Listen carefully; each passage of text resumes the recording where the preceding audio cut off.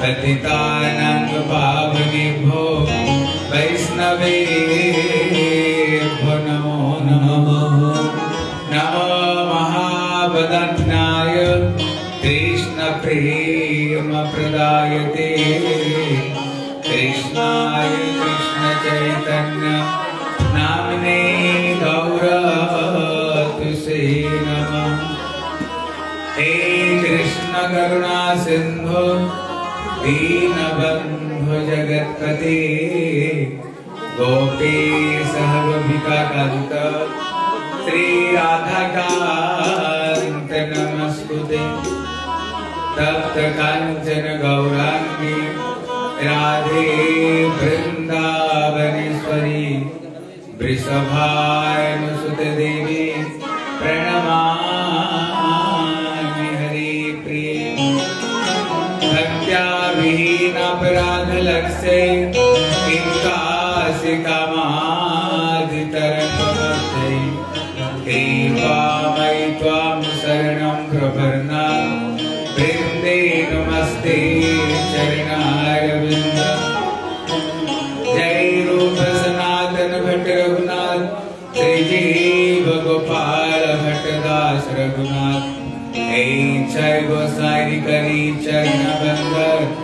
जाहात विघ्ननाश अभीष्ट तमादिदेवं करुणानिधानं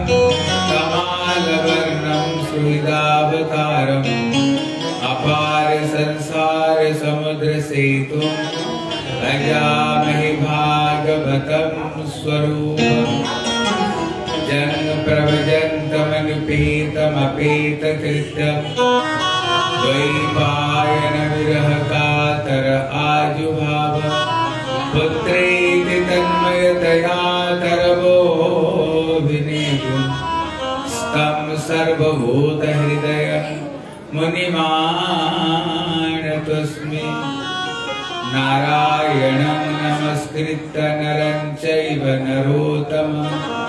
देवीं सरस्वतीं व्यासं। ततो जयमुदिरे। श्रीकृष्ण चैतन्य प्रभु नित्यानंद श्री अद्वैत गदाधर श्रीवासादि गौर भक्त वृंद निवास हाथ हरे कृष्ण हरे कृष्ण कृष्ण कृष्ण हरे हरे। हरे राम हरे राम राम।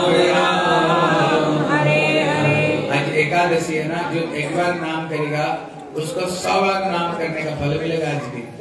आज एकादशी का नाम क्या है? सफला। सफला। सफला। मतलब क्या है? जो कुछ करोगे बढ़िया होगा सफल होगा।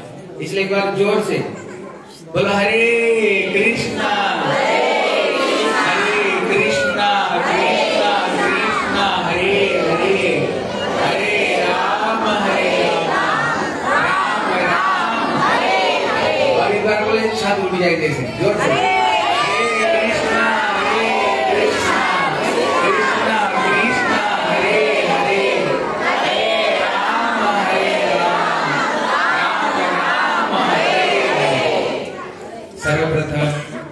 मेरे गुरु पाद पद्म नित्य लीला विष्णु पाद अष्टोत्तर सत श्री श्री श्रीमाद भक्ति श्री रूप सिद्धांत गोस्वामी महाराज जी के चरण कमल में अनंत कोटि साष्टांग दंडवत प्रणाम करता हूँ।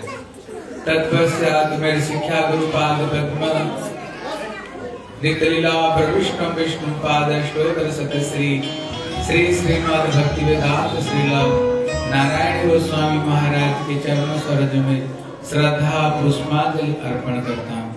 उपस्थित समस्त वैष्णव, वैष्णवी, माता, पिता, भाई, बहन, सभी को मैं जथा योग्य प्रणाम करता हूँ। हरे कृष्ण। गतकल हम लोग श्रीमद भागवत कथा की महिमा को श्रवण कर रहे थे। भागवत की इतना महिमा, कल हम लोग श्रवण कर रहे थे, धुंधुकारी जैसे पापी। जिसने पिताजी को इतने सताया, पिताजी घर छोड़कर चले गए। मैया को इतने सताई, मैया ने कुएँ में आत्महत्या की। फिर छह छह बेस्याओं को घर में बुला बुला के रखा उनके लिए चारी गुंडा, गिरदी, डाकू, उसने सब कुछ पाप कर्म किया। और छह बेस्या में मिल करके उसको मार करके उसको गड्ढे खोद करके गाड़ दिया। देखो, हमारे पास में भी छह बेस्या है। ये सबको पास में छह छह बेस्या है। बेस्या किसको कहते हैं? जो अपना पति को छोड़ करके और किसको पास में जाए। हमारी असली पति कौन है? कहते ना तुम्हें माता च पिता तुम्हें त्वमेव बंधुश्च सखा त्वमेव त्वमेव विद्या द्रविण त्वमेव त्वमेव सर्वम मम देव हमारे जो असली पति कौन है? बोले, भगवान श्री कृष्ण है। लेकिन हमारे पास में चक्षु, ये आँखें हैं।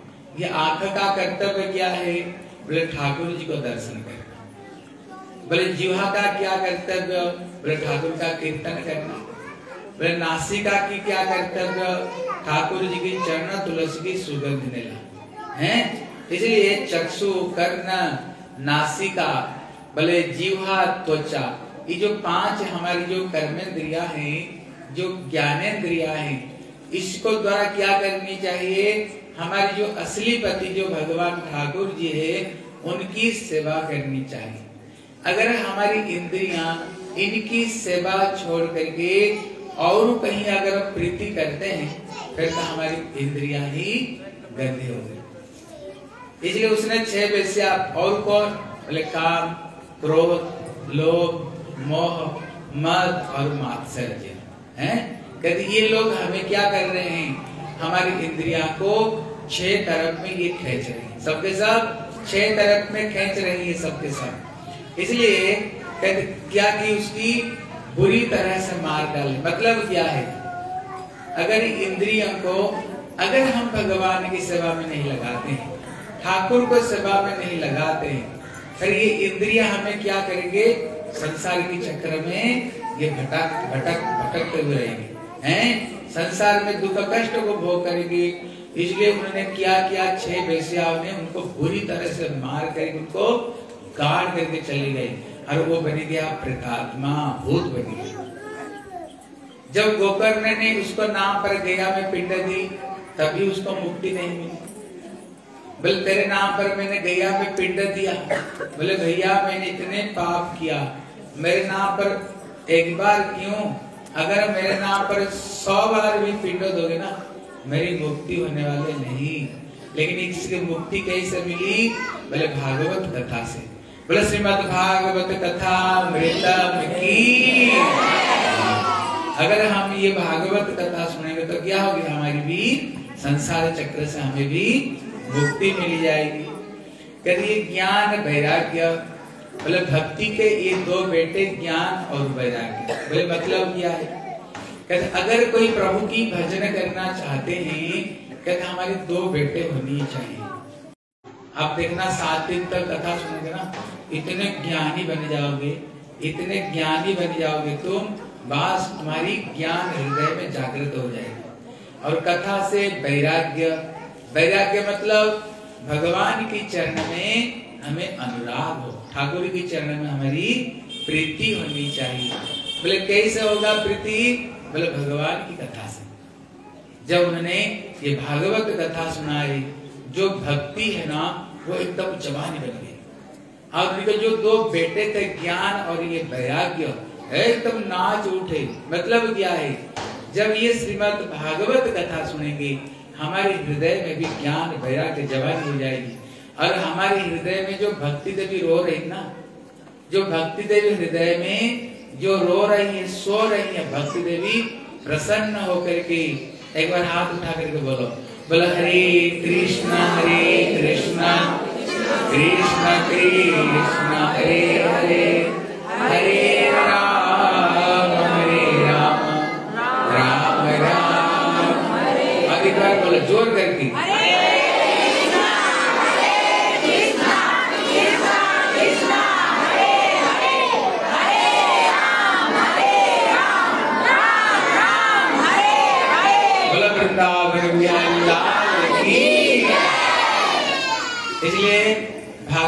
जो महिमा है, दो ग्रंथ में आई है। एक पद्म पुराण और एक स्कंद पुराण हम थोड़ी सी स्कंध पुराण की चर्चा करते हैं। जब भगवान कृष्ण ये संसार छोड़ करके चले जाते हैं, मैया कुंती भी अपना शरीर को छोड़ती बोले, क्यों? बोले, जो कुंती का जो प्राण है, वो कृष्णगत प्राण था। शिक्षा देती है मैया कुंती देखो, तब तक ये शरीर धारण करनी चाहिए, अगर जब तक ये शरीर से भगवान की भजन हो। अगर ये शरीर से भगवान की भक्ति नहीं होना कभी शरीर धारण नहीं करनी चाहिए। इसलिए भागवत कहता है, जीवन सबो। वो व्यक्ति ज़िंदा रहते हुए भी मरा है। बोले, कौन है ज़िंदा रहते हुए भी मरा? बोले, जो लोग ये कान में ठाकुर जी की कथा नहीं सुनते हैं जीवा से ठाकुर का नाम नहीं करते हैं। कहते वो ज़िंदा रहते हुए भी वो व्यक्ति मरा है। इसलिए जब कुंती मैया शरीर छोड़ दी, पंच पांडव भी ये दुनिया को छोड़ दी। दुनिया छोड़ने से पहले उन्होंने हस्तिनापुर का राजा श्री परीक्षित महाराज को बनाए और वृंदावन का राजा श्री वज्रनाभ को। एक दिन श्री परीक्षित महाराज वज्रनाभ से मिलने के लिए गए। बोले, बेटा, सब ठीक ठाक है ना? बोला, आपका आशीर्वाद से सब ठीक ठाक है लेकिन जो मन है ना, मन बड़ा उदास है। बोले, क्यों? बोले, वृंदावन का राजा तो मैं हूँ, लेकिन वृंदावन में कोई है ही नहीं। जैसे भगवान राम, जब अब टीवी में रामायण देखे हो कौन कौन देखे रामायण? सब देखे हो। अब देखना, जब भगवान राम ये संसार छोड़कर गए, ये सारे अयोध्या वासियों को लेकर चले गए, किसी को छोड़े नहीं। लेकिन एक व्यक्ति को छोड़कर गए। किसको? हनुमान जी बोले क्यों? बोले हनुमान अगर तू चले जाओगे फिर राम भक्ति को जगत में कौन और प्रचार प्रसार करेगा? इसलिए श्री हनुमान जी को उन्होंने छोड़ करके गए। उसी तरह जब भगवान कृष्ण गए सबके सबको लेकर के ठाकुर जी चले गए। ब्रज में कोई है ही नहीं सुनी सुनी लग रहा है। बल ब्रज में तो कोई है ही नहीं। इसलिए ब्रज तो हमें सुनी सुनी लगती है। लेकिन श्री वज्रनाथ श्री परीक्षित महाराज को पता है, कृष्ण तक गए एक स्वरूप में, लेकिन दूसरे स्वरूप में भगवान जगत में अभी भी विद्यमान है। लेकिन ये रहस्य को कौन जानता है? कभी श्री सांडिल ऋषि कभी श्री नंद बाबा की पुरोहित थे। तब उन्होंने सांडिल ऋषि को बुलाए बोले, आप थोड़ी सी ये वृंदावन धाम की थोड़ा महिमा बताओ। तब श्री सांडिल ऋषि कहते हैं, बोले चिदा नंदा कहते देखो, ये जो वृंदावन धाम है ना, ये कोई साधारण भूमि, श्री वृंदावन धाम कोई साधारण भूमि नहीं। ये दिव्य चिन्मय भूमि श्री वृंदावन है। इसलिए ठाकुर जी की दो तरह का लीला है, एक है व्यवहारिक लीला और एक वास्तव लीला। जैसे साधारण रूप में क्या देखो, कृष्ण चले गए, लेकिन इस सही सही देखो ना भगवान खुद कहते हैं, वृंदावनम परित्यज देखो, जो गया है ना, सारे कागज़ खा रहे कोई देख लो तो गेट के पास में। इसलिए कृष्ण खुद कहते हैं, वृंदावनम परित्यजम, पाद एकम न गच्छामि। मैं वृंदावन धाम छोड़ करके एक कदम भी कहीं बाहर नहीं जाता। वृंदावन गए हो आप लोग? कौन कौन गए? सब गए। बहुत बढ़िया है। जो नहीं गए वृंदावन जाना। देखना वृंदावन में दो बहन है। एक निधुबन और एक निकुंज बन अगर कभी ठीक शाम का समय में जाना देखना दिन भर तक बंदर घूमते हैं। लेकिन शाम होते ही ये बंदर किसको भगाने का ज़रूरत नहीं। देखना वो जो चार तरफ़ में जो दीवार है ना, वो अपने आप एक एक करके निकलना शुरू हो जाता है। शाम होते ही वो क्या महिमा, शाम होते ही निकलना शुरू हो जाता है। वहाँ पर फूलों की सज्जा लगाते हैं। दांतन रख लेते हैं, लोटे में पानी, लड्डू रख लेते हैं। लेकिन इस सवेरे जा करके देखोगे ना, ऐसे लगेगा जैसे वो पुष्प की सज्जा के ऊपर में कोई रात को लेट करके गए। कभी लड्डू आधा मिलेगी, कभी लोटे में पानी नहीं मिलेगी। अगर कोई सोचे, मैं ज़ोर ज़बरदस्ती रहना चाहता हूँ, देखता हूँ ठाकुर क्या करते हैं। मर ही जाएगा, नहीं तो व्यक्ति गूँगा हो जाएगा। मैंने हमारे मंदिर को पास में ये बन, मैंने दो घटना देखा। देखा, एक बूढ़ी माता जी जो ज़बरदस्ती रुक गई थी, वो हल्ला हो गया, दूसरे दिन सवेरे देखा, उसका शरीर छुटा हुआ। और एक माता जी को हमने देखा तो गुंगा ही बनी गई क्योंकि जब ठाकुर जी का लीला दर्शन करते हैं ना फिर बोलने का लायक ही नहीं रह जाते। इसलिए अभी भी कृष्ण वृंदावन में पूर्ण रूप में ठाकुर जी लीला कर रहे हैं। लेकिन इसको कौन दर्शन कर सकते हैं? बोले, वही दर्शन कर सकते हैं। बोले, प्रेमांजन छुरित भक्ति विलोचनेन। संत सदैव हृदय सो विलोकयम जन्म श्याम सुंदरं मचीत गुण स्वरूप गोविंदमादि पुरुषम भजामि ये पितामह ब्रह्मा जी कहते हैं, जब हम अपना आँखों में प्रेम रूपी काजल जब लगाएँगे, लेकिन हमारी आँखों में तो काजल लगाते हैं, लेकिन किस चीज़ की काजल है? बोले, काम, क्रोध, लोभ, मोह मत मात्सर्य। इसलिए हमें इन्हीं आँखों से ठाकुर का दर्शन हमें नहीं मिलती है। इसलिए बंगला में की कीर्तन है बोले, एक न से वृंदावने, बांसी बाजे रे। वो कभी कह रहे हैं, अभी भी कृष्ण वृंदावन में बंसुरी बजाते हैं। बोले, एक से ललना, जल भरते जाए जमुना। अभी भी ब्रज गोपियाँ पानी भरने के लिए कहा जाती है? जमुना में जाते हैं। एखन अभी कृष्ण गोचारण करने के लिए जाते हैं। अभी भी धूल उड़ती है वृंदावन में। हैं? लेकिन ये चीज़ को कौन दर्शन करेगा? जिसने अपना आँखों में प्रेम रूपी अंजन लगा ली। देखो, एक छोटी स्टोरी सुन लो। बोले, एक समय एक व्यक्ति था जिस आज से पचास साल पहले घटना है। एक व्यक्ति था जिसकी पत्नी का नाम थी किशोरी। लेकिन वो सचमुच से देखने में बड़ी सुंदरी बड़ी पति व्रता नारी थी। पति की बहुत ही सेवा करती थी। लेकिन इस शादी होने का थोड़ी देर बाद दिन बाद में कोई बीमारी से उसने शरीर छोड़ दिया। लेकिन ये पति उसको प्रति बहुत ही आसक्त था। अभी उसकी पत्नी की चिंता करते करते ना वो पागल हो गया। अभी दिन रात हाँ किशोरी, तू कितने अच्छी हो। हाँ किशोरी, तू कैसे रोटी बनाती, खिलाती थी। हाँ किशोरी, तू कहाँ चली गई? अभी रो रो कर ना वृंदावन में आ गई।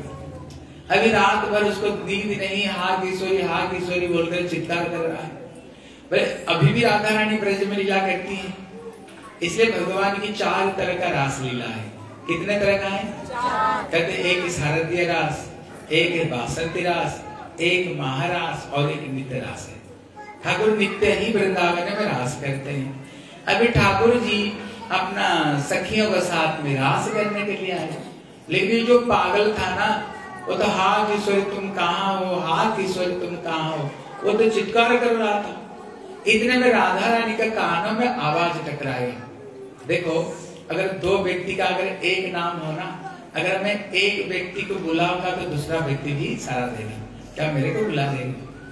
अभी वृंदावन में किशोरी बोल करके सब राधा रानी को जानते हैं। है राधा रानी को? सब की नित्य किशोरी, प्रीतम, जोड़ी। राधा रानी को नित्य किशोरी बोलते हैं। अभी राधा रानी को कान में टकराया, बोले, देखो ललित, कोई मेरे भक्त रात को सोया नहीं देखो, मेरे नाम को लेकर के, मेरे को चिल्ला चिल्ला करके मेरे को बुला रहा है। इतने में ललिता बोली, पागल चुप रहा तेरे को नहीं बुला रही है? उसकी पत्नी का नाम थी किशोरी वो बड़ी। उसकी पत्नी का नाम थी किशोरी वो बड़ी पति प्रथा नारी थी। केले को वहीं पर रख दिया। हरे कृष्ण। बल, वृंदावन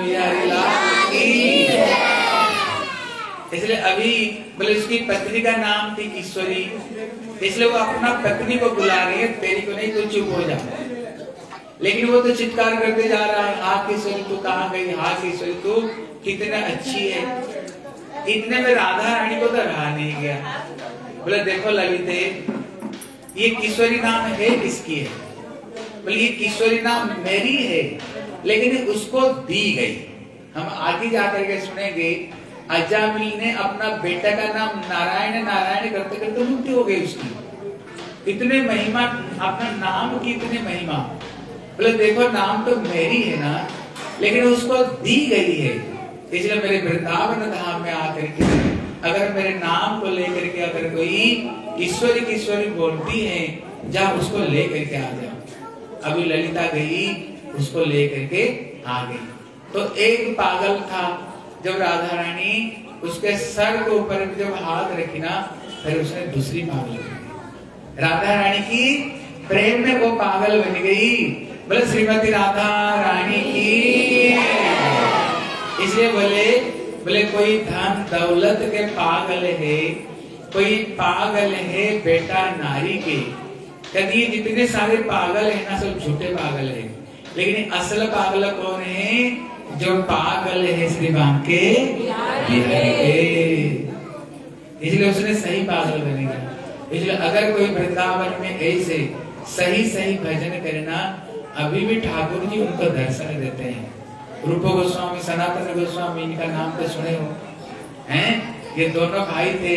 प्राइम मिनिस्टर पद छोड़ करके भजन के लिए आए। जब इसे सनातन गोस्वामी, रूप गोस्वामी को पास में आए, अभी छोटे भाई सोच रहे हैं बड़े भाई, बड़े दिनों में आए हैं। उनको खीर बहुत पसंद है।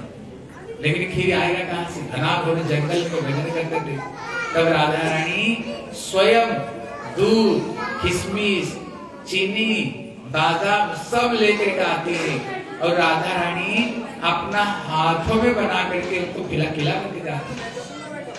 हाथ में बना करके खिला करके जाती है। अगर अभी भी अगर कोई सही सही संत भजन करते हैं ना, अभी भी ठाकुर जी उनको दर्शन देते हैं। इसलिए कौन कह रहे हैं? ये सांडिल्य ऋषि कह रहे हैं।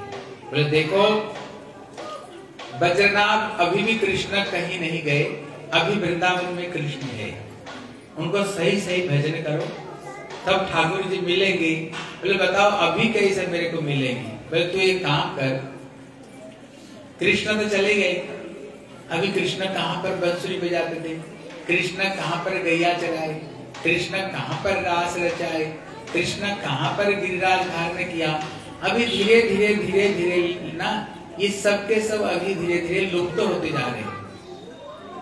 इसलिए तुम धीरे धीरे धीरे धीरे ब्रज मंडल को प्रकाश करो और जितने ठाकुर जी अलग अलग स्थान पर ठाकुर जी को तुम स्थापन करो ठाकुर का आशीर्वाद होगी ना अभी भी तुमको ठाकुर जी मिलेंगे। इसलिए उन्होंने बहुत ठाकुर को वृंदावन में जितने ठाकुर देखोगे ना गोविंद गोपीनाथ मदन मोहन बहुत सारे ठाकुर जी को उन्होंने स्थापन किया। लेकिन एक ठाकुर को उन्होंने स्थापन किया जिनका नाम है साखी गोपाल। क्या नाम है? ज़ोर से बोलो। साखी गोपाल। ध्यान देकर सुना। इनकी कथा हम सुनाता हूँ। बढ़िया ठाकुर जी कथा है अच्छे तरह से ध्यान लगा कर सुना। बोले, एक समय दो विप्र तीर्थ करने के लिए गए। एक एक वृद्ध विप्र और एक जवान। ये जो जवान विप्र ब्राह्मण, उनके जो वृद्ध बूढ़े हो गए थे, जो ब्राह्मण थे, उनको बड़ी उन्होंने सेवा की और सारे धाम को उन्होंने दर्शन करा करके वृंदावन में आए। वहाँ पर एक गोपाल जी के मंदिर में रुके जो बूढ़ा ब्राह्मण था, जो जवान ब्राह्मण की सेवा में इतने खुश हो गया, बोले, बेटा, अगर तू नहीं होता तो मेरे बस की बात नहीं थी तीर्थ करना। मैं तेरे ऊपर मैं संतुष्ट हूँ, मैं तेरे को एक चीज़ देना चाहता हूँ। बोले, बताओ। बोले, मेरी एक बेटी है, बड़ी प्यारी बेटी। जब मैं घर में वापस जाऊँगा, मैं अपना बेटी को तेरे साथ में शादी करा दूँगा। बोले, देखो आपकी बेटी को शादी करने के लिए आपको मैंने तीर्थ नहीं कराया। आप बड़े बुज़ुर्ग हो, आपकी सेवा करनी चाहिए। पिताजी की भाव से मैंने आपको तीर्थ कराया। बेटी को शादी कराने नहीं। बोले, देखो, मेरी मन में इच्छा है। तुमने मेरे को इतनी सेवा की। अगर तू नहीं होता ना, मैं कभी भी ये तीर्थ नहीं कर सकता था। इसलिए मैं चाहता हूँ मेरी बेटी को तेरे से शादी करा। इतने में बोले, देखो, बड़ी गड़बड़ भी है। बोले, क्या? बोले यद्यपि हम दोनों ही ब्राह्मण हैं, लेकिन आप छोटे जाति का ब्राह्मण मैं हूँ, आप उच्च जाति का ब्राह्मण आप हो।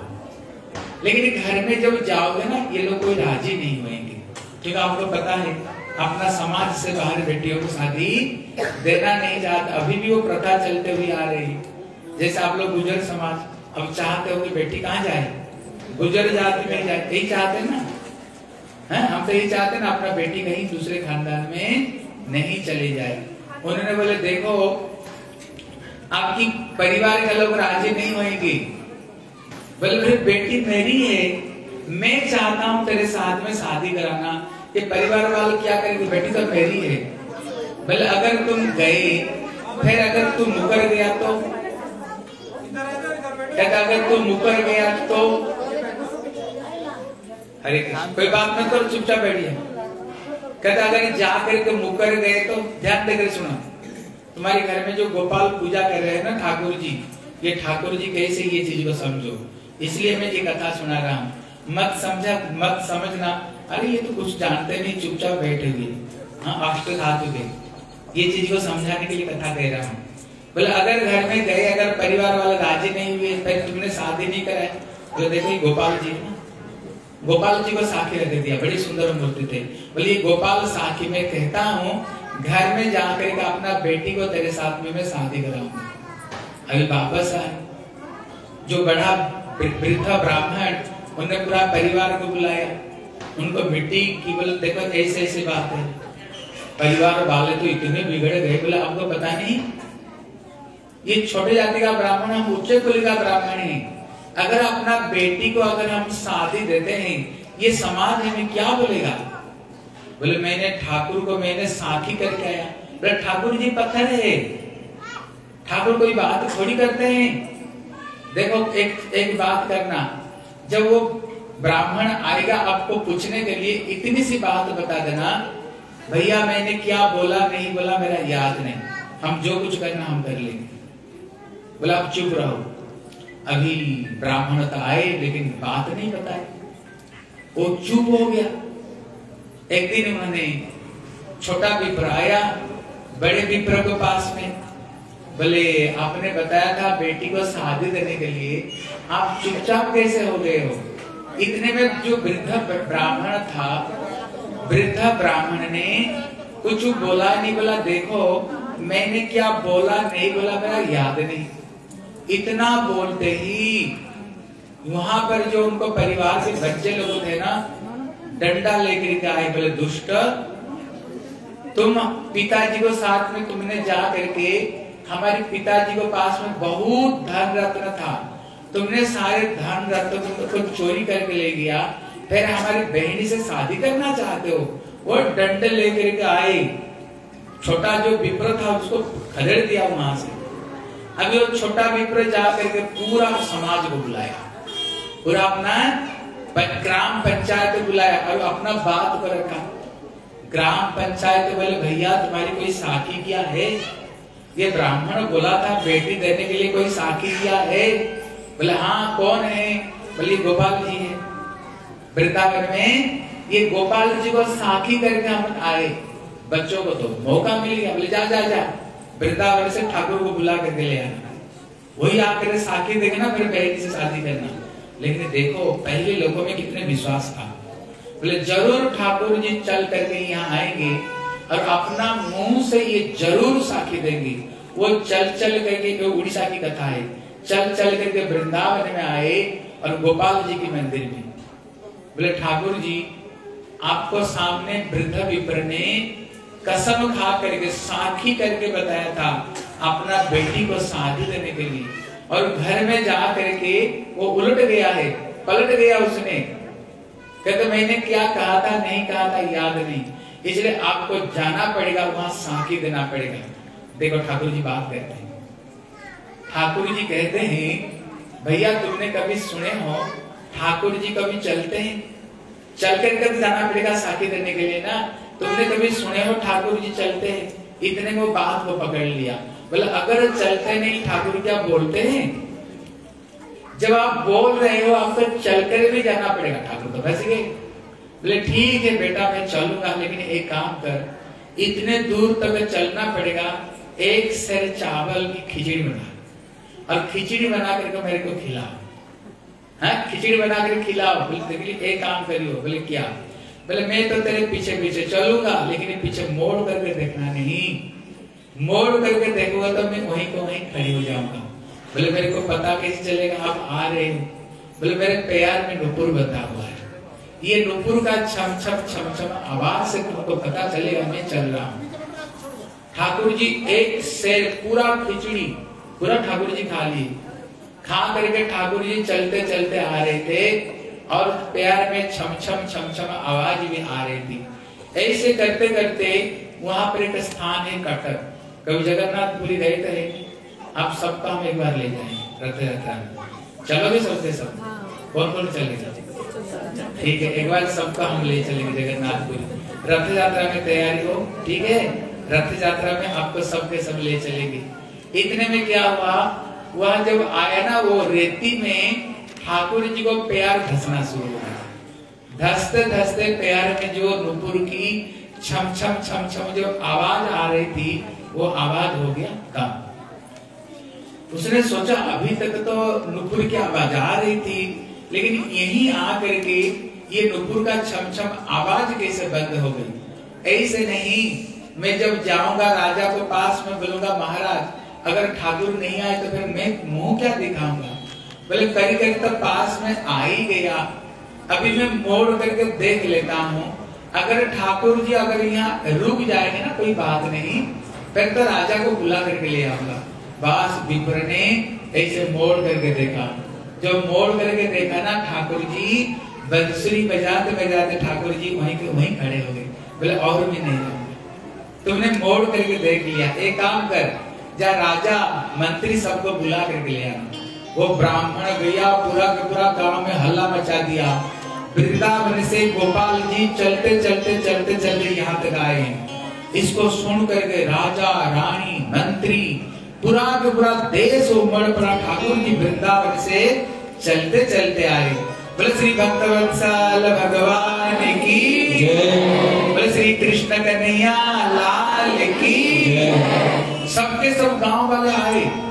देखा, सचमुच से ठाकुर जी सबको सामने ठाकुर जी साखी करके बोले। बोले हाँ ये बड़ा विप्र ने मेरे को साखी करके ये छोटे विप्र को अपना कन्या दान के लिए बताया था। लेकिन ये परिवार का लोग जब नाराज़ हो गए, बोले, अगर हमारी बहनी को अगर वहाँ पर शादी दोगे तो हम जहर खा करके मर जाएँगे। इसलिए इसी डर से उसने वो तो देना चाहते हैं। लेकिन ये परिवार का दबाव में आकर के देना नहीं चाह रहे। ठाकुर स्वयं बोले। इसलिए तभी ये ठाकुर का नाम पड़ गया साखी गोपाल। जब कभी जगन्नाथपुरी जाओगे, ठीक पुरी से पहला जो स्टेशन है, वो ठाकुर जी का नाम वो स्थान का नाम साखी गोपाल है। क्योंकि गोपाल जी साखी देने के लिए आए थे। अभी राजा का जो पत्नी थी, वो बड़ी भक्ति नदी थी। उनको पास में एक हीरे की बेसर थी। अभी वो मन मन में सोच रही थी, अगर ठाकुर को नाक में कोई छेद होता तो मैं ठाकुर को नाक में हीरे की बेसर में पहना देता। उसने केवल मन मन में सोच करके चली गई। जब रात को सो गई ना, ठाकुर जी सपने में आए बोले, महारानी, मैं जब छोटा बच्चा था, मेरी मैया ने मेरे नाक में एक छेद करके रखा।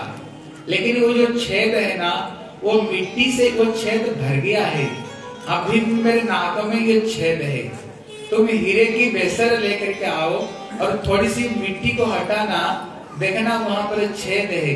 तो फिर हमें हीरे की बेसर पहना दो। इतने में रानी की नींद भूल गई। राजा को सारे बात बताए बोले चलो हम चलते हैं देख, देखते हैं। जब लेकर के आए ना देखा सचमुच से रानी गोपाल की नाक में एक छेद है। फिर उन्होंने हीरे की उसमें जो बेसर थी, मैंने पहना दी अभी जब ठाकुर जी पहले थे, वहाँ पर राधा रानी थी नहीं। वहाँ पर केवल ही कृष्ण थे। लेकिन राधा रानी का, राधा रानी के बगैर कृष्ण मन ही नहीं लगता। अभी क्या हुआ, राधा रानी की अंश में जो पुजारी की बेटी रूप में राधा रानी जन्म लेकर गए जब वो बड़ी हो गई, बड़ी सुंदर फूलों की माला बना करके ठाकुर जी के लिए रोज रोज पहनाती है। ठाकुर जी को श्रृंगार करती है पुजारी की बेटी बन करके आई लेकिन रात को जब ठाकुर को शयन देते हैं ना, ठाकुर जी मंदिर में नहीं सोते कहा सोते हैं? ब्राह्मण की जो पुजारी की बेटी को घर में सोते हैं रोज। एक दिन ठाकुर जी सो रहे थे, देखो, जब ठाकुर जी को जगाते हुए ना ऐसे नहीं, ठाकुर के घर में सीधा घुस गए। नहीं, ठाकुर को सामने स्क्रीन लगानी चाहिए।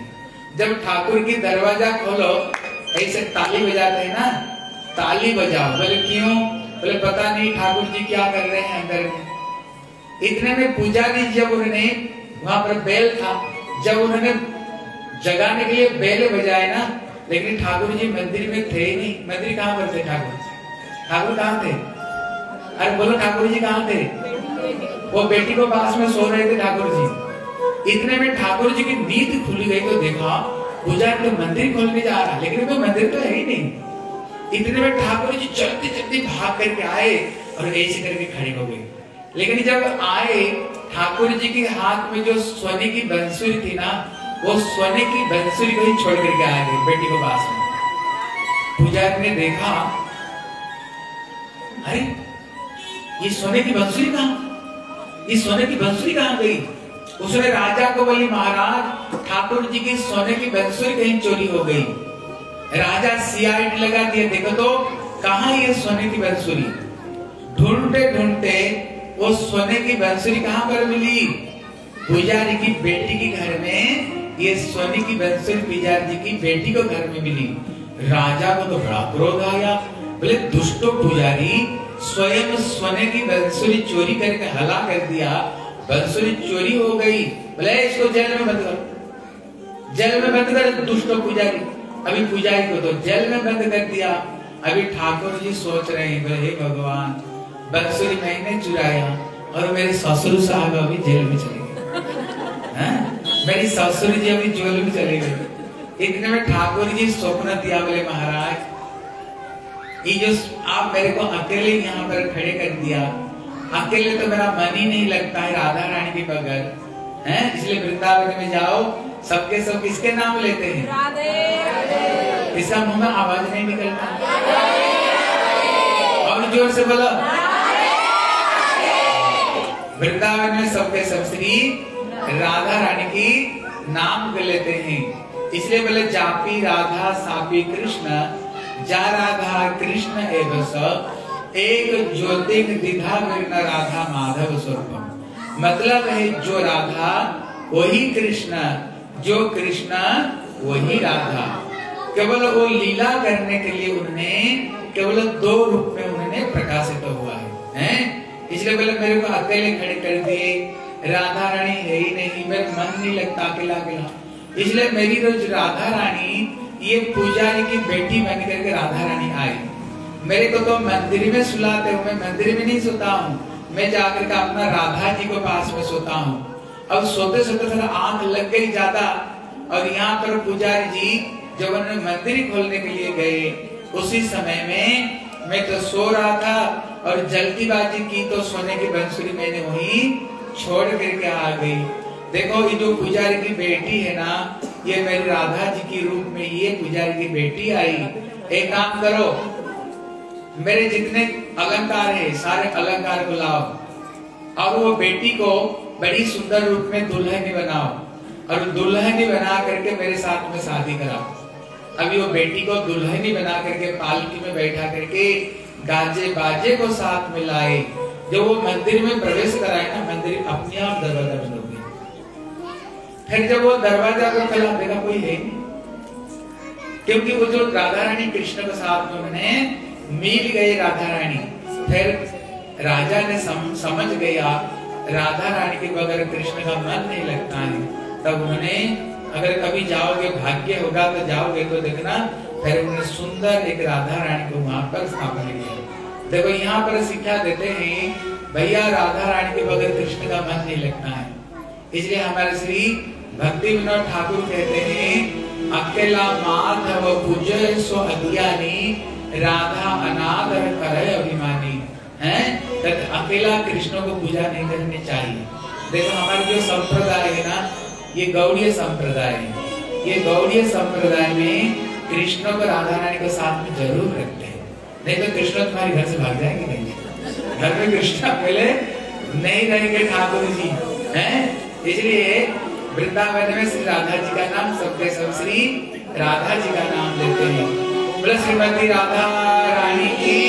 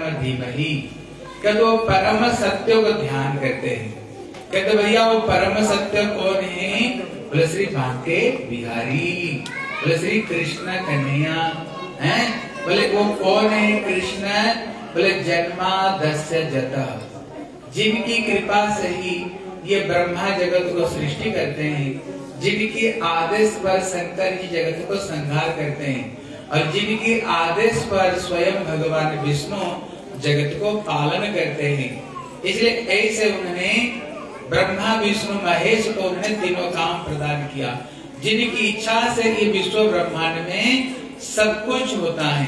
कहते आदि कवि से ब्रह्मा, ये ब्रह्मा जी के हृदय में जिन्होंने ये दिव्य ज्ञान को उन्होंने संचार किया। क्योंकि भगवान की नाभि कमल से सर्वप्रथम ब्रह्मा जी सृष्टि हुई है। ब्रह्मा जी चारी तरफ़ में पानी पानी उन्होंने देखा। उन्होंने देखा, मेरी सृष्टि कहाँ से हुई? उन्होंने कमल नार में कितने हज़ार साल तक उन्होंने अनुसंधान की। लेकिन उनको कुछ दिखाई नहीं। फिर जब ऊपर में आए, उन्होंने दो शब्द सुना, व्यंजन वर्ण का सोलहवा और इक्कीसवा मतलब ठाकुर जी बोले, तुम तपस्या करो। जब ब्रह्मा जी तपस्या करते हैं, बोले ज्ञानम में परम गुह्यम जन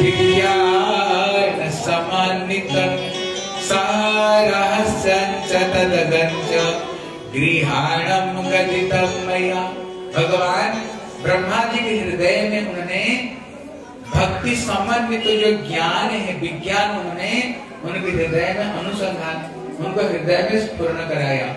और बंसी ध्वनि को द्वारा उन्होंने सर्वप्रथम ब्रह्मा जी के कानों में हम लोग जो गोपाल मंत्र जब करते हैं ना, जिन जिन को ये गोपाल मंत्र मिली, बोले, ये गोपाल मंत्र मिला कहाँ से? बोले, सर्वप्रथम भगवान स्वयं बंसी ध्वनि से उन्होंने ब्रह्मा जी के हृदय में उन्होंने स्पूर्ण कराया। फिर ब्रह्मा जी उसी मंत्र से ये दुनिया को सृष्टि करते हैं। फिर ब्रह्मा जी अपना बेटा श्री नारद जी को दिया। फिर नारद जी किसको दिए? बोले श्री व्यास देव को। बोले व्यास देव श्री मध्वाचार्य को दिया। फिर वही मंत्र धीरे धीरे धीरे धीरे आते आते श्री चैतन्य महाप्रभु के पास में आए। और चैतन्य महाप्रभु ने अपना शिष्य प्रशिष्य को दिया। और वही मंत्र अभी हम लोगों के पास में अभी वही मंत्र है। हाँ देखो, ध्यान देकर सुनो। आज एक माता जी बोल रही थी, हमने कहा, मंत्र कहाँ से मिला? एक मंत्र का बोले। देखो, अगर वो मंत्र, ये ठाकुर जी से अगर वो मंत्र नहीं आए ना कभी मंत्र का कोई फलभूत नहीं होगा। इसलिए भगवान कृष्ण खुद कहते हैं अगर ये भव सागर से कोई पार होना चाहते हैं, ये जगत में मैं चार संतों को मैं भेजूँगा। वो कौन है?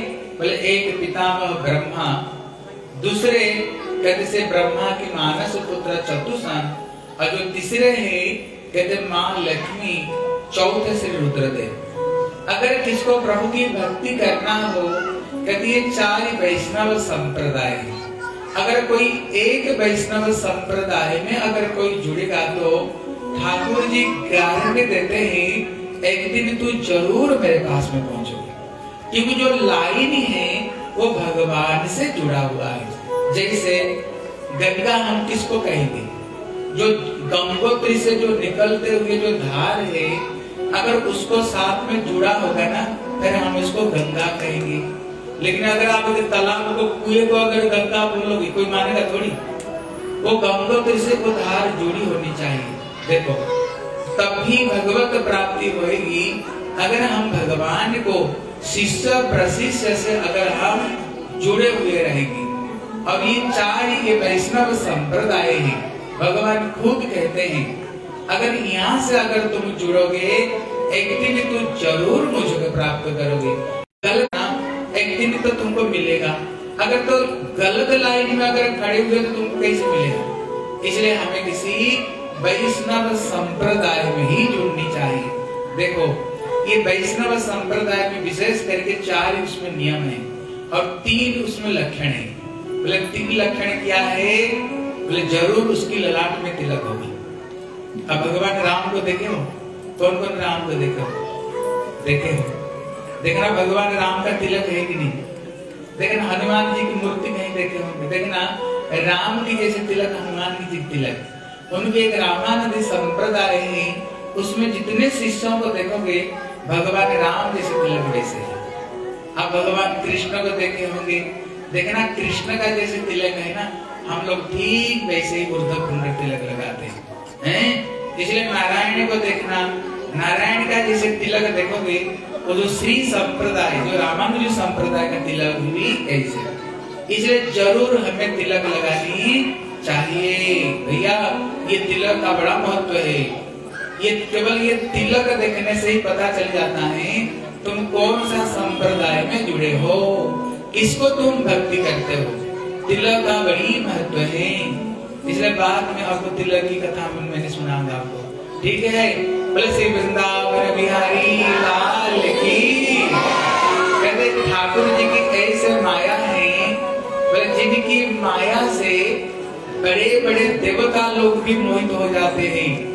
हम आगे जाकर के सुनेंगे, पितामह ब्रह्मा, वो भी भगवान की माया में मोहित होकर के कृष्ण के बछड़े और उनने सखाओं को चुराया।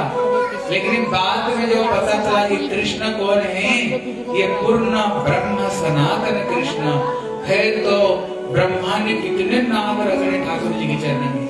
कहते, इंद्र स्वयं जिनकी माया में मोहित हो जाते हैं। हम कथा आगे सुनेंगे। कृष्ण कैसे श्री गिरिराज गोवर्धन को उन्होंने धारण कर लिया। बोले, श्री गिरिराज बाबा की।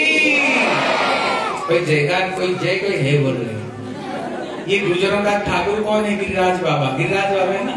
एक मोहन बाबा और एक गिरिराज बाबा है। जय कर दो। श्री गिरिराज बाबा की आज एकादशी है ना? जितने जय दो उतना ही जय होगा तुम्हारे। इसलिए जिनकी माया में इंद्र भी मोहित हो गए, और पता नहीं कितने कृष्ण का चरण में नाक करना पड़ा। कहते जिनकी कृष्ण की ऐसे माया है जिनकी माया में बड़े बड़े देवता लोग भी मोहित हो जाते हैं। देखो, एक समय ठाकुर जी द्वारका में और अपना रानियों के साथ में ठाकुर जी बैठे हुए नारद जी गए थे स्वर्ग में, वहाँ से एक पारिजात फूल लेकर के आए। और उनकी सबसे, उन्होंने पारिजात फूल लाए, इतने में नारद जी बोले ठाकुर जी आपके जो सबसे प्रिय है ना जो रानी, ये फूल आप उसको दे दो। कृष्ण तो चक्कर में पड़े गए बोले, नारद कहाँ से आ गई? लड़ाई लगाने के क्योंकि हर रानियों को मैं बोलता हूँ, हर रानियों को मैं तेरे को जितना प्रेम करता हूँ, जीवन में और किसको इतना प्रेम नहीं किया, सबको ऐसे बोलता हूँ। अगर ये फूल एक को दे दिया तो दूसरे तो मान करके बैठ जाएगी। नारद जी बोले, ठाकुर जी, जल्दी जल्दी तो मेरे टाइम ही नहीं, मेरे पास में जल्दी जाना है।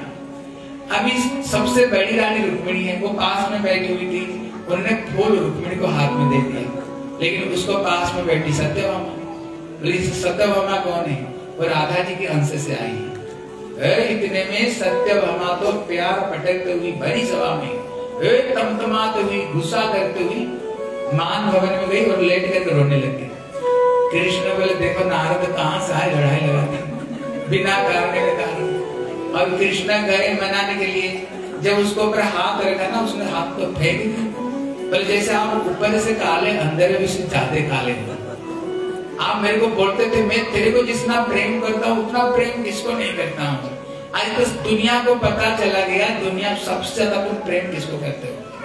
कृष्ण तो हर तरह का, है? मनाना जानते हैं। बोले, अरे, उसको तो मैंने एक फूल दिया तेरे लिए तो स्वर्ग से पारिजात वृक्ष में उखाड़ करके ले आऊँगा। बोले, ज़्यादा बोलो मत, चुप रहो। जो एक फूल नहीं दे सकता, मेरे लिए वृक्ष ले आएँगे। बोले, चलो बोले, चलो। इतने में उन्होंने सत्य सत्यभामा को गरुड़ के ऊपर बैठ करके स्वर्ग में गए। इंद्र को बोले, इंद्र, मेरी पत्नी मेरे ऊपर मान कर ली सत्यभामा एक यहाँ से एक वृक्ष हमें दे दो। बहुत सारी पारिजात वृक्ष स्वर्ग एक दे दो। बोले, नहीं। स्वर्ग का इसलिए इतना महत्व, पारिजात फूल के लिए, अगर ये वृक्ष अगर चला जाएगा मरते जगत में, इस स्वर्ग का क्या महिमा रह जाए कोई महिमा ही नहीं रह जाएगी। बोले, नहीं, मेरी पत्नी को मनाने के लिए एक वृक्ष दे दो। बोले, नहीं। बोले, नहीं तो मैं अपना पराक्रम दिखा करके लूँगा। बोले, ले सकता हूँ, ले जाओ। जब कृष्ण गए, जो ज़बरदस्त वृक्ष को उखाड़ दिए, इतने में तैतीस करोड़ देवता इंद्र समेत सबके सब कृष्ण को साथ में लड़ने के लिए तैयारी होगी सबके सब। इतने में कृष्ण अपना सारंग धनुष उठाया सबको मार मार करके वहाँ से भगा दिए और देखते देखते उन्होंने पेड़ को उखाड़ के उखाड़ करके गरुड़ को पीठ ऊपर बैठे और लाए, सत्यभूमा के घर के सामने लगा दिया। सत्यभूमा इतने खुश हो गई। फिर सब रानी को निमंत्रण दिया। बोलो, आओ मेरे घर में। बोले, क्यों? बोले, तुम लोग ये सोचते होंगे, कृष्ण सबसे ज़्यादा रुक्मिणी को प्रेम करते हैं। अरे, उसको तो एक फूल दिया, देखो मेरे लिए तो स्वर्ग से पेड़ लेकर के आया इसलिए यहाँ पर कहते हैं, बोले मुहंती जात सुरयो। भगवान की ऐसे माया है, जिनकी माया से बड़े बड़े देवता लोग भी जिनकी माया से मुक्त हो जाते हैं। ऐसे श्री भगवान कृष्ण हैं, बोले, हम सबके सब ऐसे जो कृष्ण को चरण में प्रणाम करते हैं। बोले, श्री कृष्ण कन्हैया लाल की। लेकिन हमारे जो रसिक टीकाकार बोले, कहते, क्या प्रथम श्लोक में केवल क्या कृष्ण को प्रणाम करते ना, और कोई है? बोले, नहीं, केवल कृष्ण नहीं, उनकी जो पराशक्ति श्री राधा रानी को भी प्रणाम करते हैं। क्योंकि राधा के बगैर कृष्ण आधा है। इसलिए बोले, जो जो राधा वही कृष्ण, जो कृष्ण वही राधा।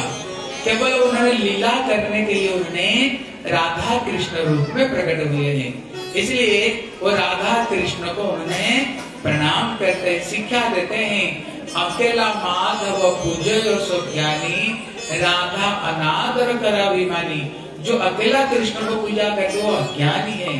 कहते, भैया, अकेला माँ कृष्ण को जो पूजा करते हैं, उनकी संग मत करो, मना करते हैं।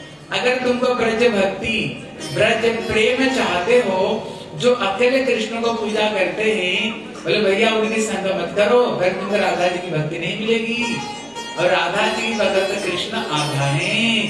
इसलिए हमें राधा कृष्ण जुगल की उपासना करनी चाहिए। बोले, श्री जुगल सरकार भागवत का जो दूसरा नंबर श्लोक है, उसमें भागवत प्रतिज्ञा लेता है। बोले, क्या प्रतिज्ञा लेते हैं? बोले, धर्म प्रोजीत कैतवत्र परम निर्मात पर कहते हैं जो भागवत ग्रंथ है। वो किसके लिए ये ग्रंथ है? बोले, जिसके हृदय में मात्सर्य है मात्सर्य मतलब ईर्षा, द्वेष।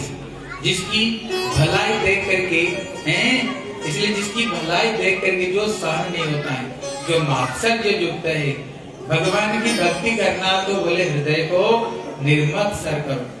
हृदय को मत्सर सतह दूर करो। जिसके हृदय में ये मत्सर्य भाव हो ना उसी के लिए ये भागवत ग्रंथ उनके लिए नहीं। बोले, ऐसे निर्मत सर कौन है? बोले, संत है।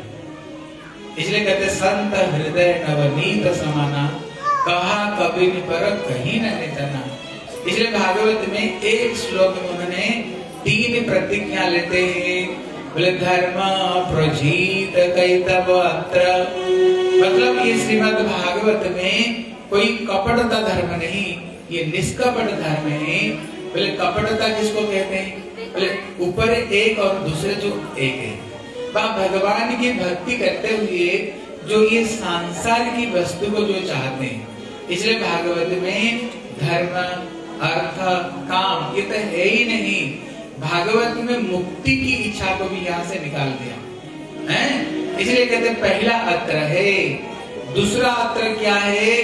बोले वेद्यम वास्तव बोले भागवत ग्रंथ में जो वास्तव सत्य जो भगवान है, उनकी कथा भागवत में।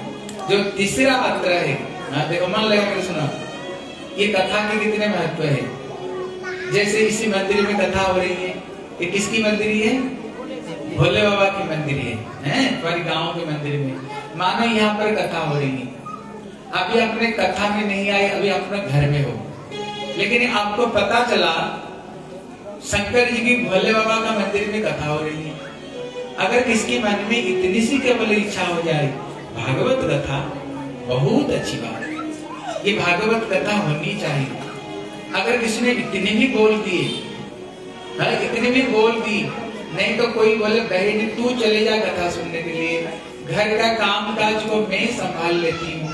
अगर इतनी सी अगर कोई बोल देना क्या तो उसी समय में ही ठाकुर जी उसके हृदय में आकर के ऐसे बद जाते हैं, जैसे मानो एक व्यक्ति घर में घुस करके अपनी आँख को अंदर से कुंडी से बंद कर दे। ऐसे ही ठाकुर जी उसके हृदय में आकर के बंद जाते हैं। उनको निकलने का रास्ता नहीं मिलता है, केवल सुनने की इच्छा करने से।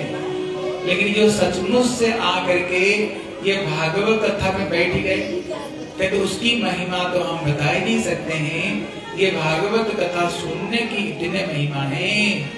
इसलिए श्री सुखदेव गोस्वामी कहते हैं, बोले, श्रुत अनुपठित ध्यात, आदृत अनुमोदित।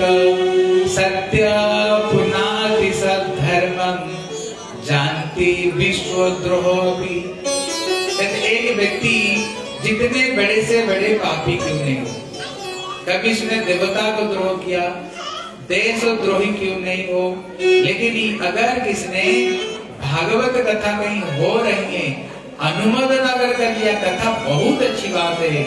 उसी समय में ही समस्त पाप से मुक्त होकर के भगवत चरण को प्राप्त करना है, केवल इच्छा मात्र से ही। अगर सचमुच से आकर कोई बैठ गया तो उसकी महिमा तो बता ही नहीं सकते हैं।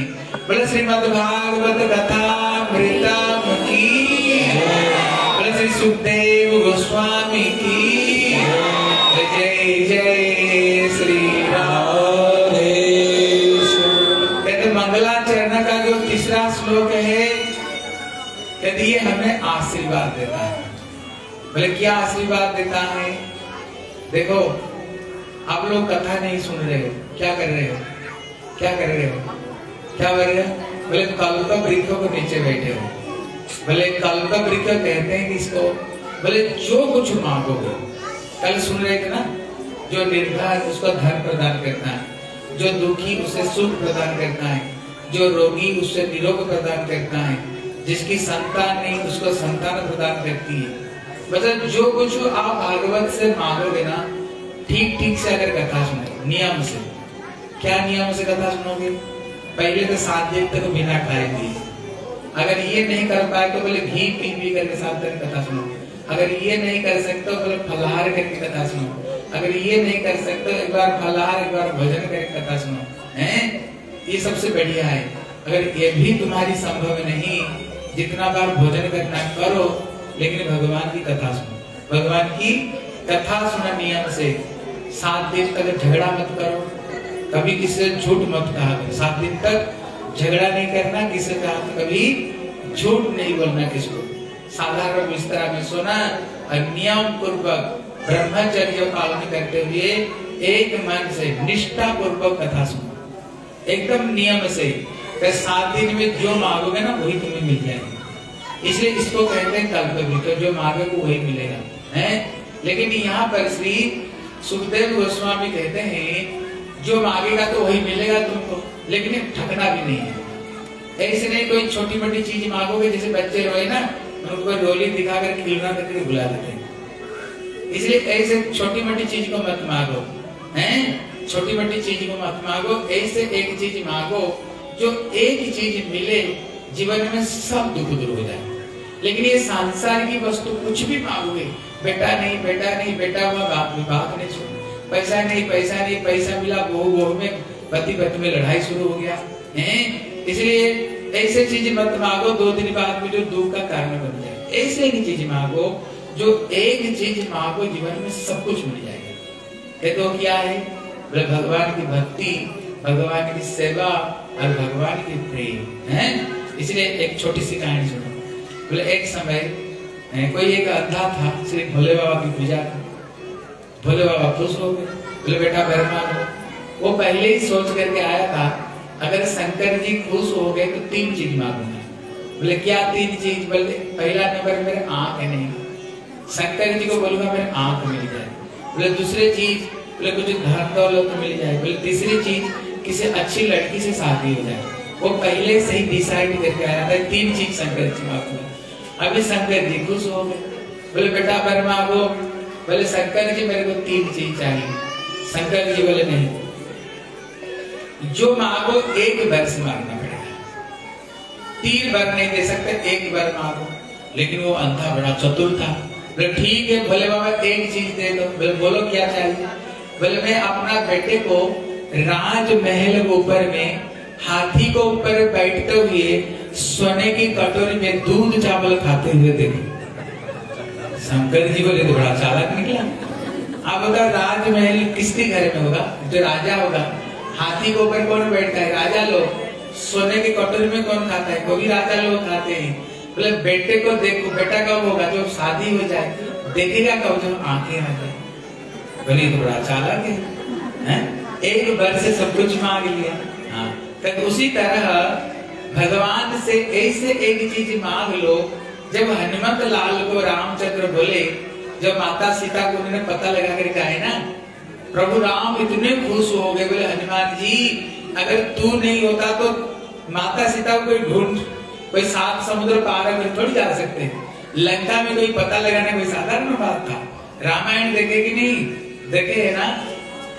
हनुमान जी ने कितने कष्ट करके सीता जी को उन्होंने पता लगाया। अगर तू नहीं होता है ना, ये असंभव था।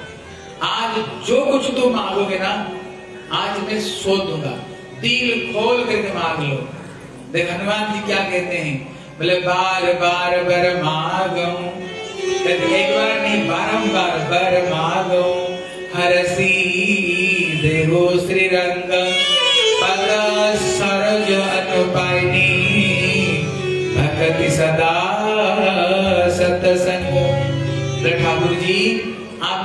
चरण में मैं बारंबार मैं प्रार्थना करता हूँ। हे ठाकुर जी अगर आप मुझे कुछ देना चाहते हो, क्या दो? आपकी चरण की भक्ति, आपकी चरण की सेवा और निष्काम प्रेम प्रदान करो संतों की संग हमें प्रदान करो। हैं? अब देखो, हनुमान को क्या नहीं मिला? दुनिया मिली है। सब कुछ मिल गया कि नहीं हनुमान को? मतलब अगर भक्ति मिला मतलब क्या जानते हो? भक्ति मिलना मतलब होता है ठाकुर जी स्वयं तुम मिल गए। तुम ठाकुर जी के लाडले बन गए। हनुमान जी ठाकुर के लाडले बन गए ना? और पिताजी का सारी संपत्ति का तो मालिक अपने आप बन जाओगे, जो विश्व ब्रह्मांड का मालिक है। इसलिए ये भागवत नहीं, ये कल्प वृक्ष के नीचे बैठे हो ठाकुर जी से उनकी भक्ति, सेवा मांगो, और दुनिया की जो धन, दौलत, पुत्र, परिवार, इसके लिए मांगने का कोई ज़रूरत नहीं। ठाकुर जानते सब दे देंगे। सब ठाकुर जी अपने आप दे देंगे कितना करते तुम कन्या मेरा नाम हो रहा है और तेरी कृपा सारे हाँ इसलिए ठाकुर जी को भक्ति मांगनी चाहिए। बोले, श्री वृंदावन बिहारी लाल की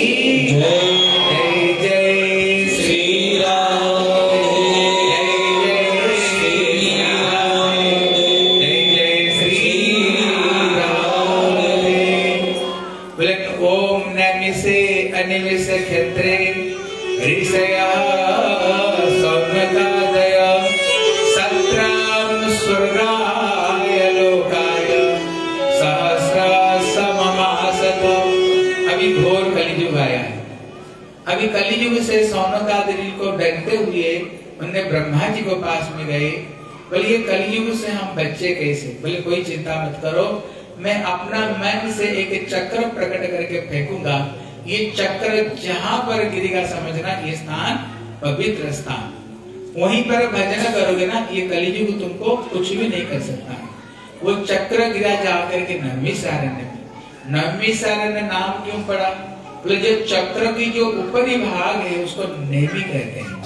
वो चक्र ऐसे गिरा, एकदम पाताल तक भेद कर चला गया। कभी जाओगे तो देखोगे चौबीस घंटा पानी निकलती है। देखे हो कहीं नहीं शहर में कोई गए हो? कौन गए नहीं शहर में एक एक माता जी गए। और कोई गए? हम तो कौन जाना चाहते हो? सबको ले जाएँगे।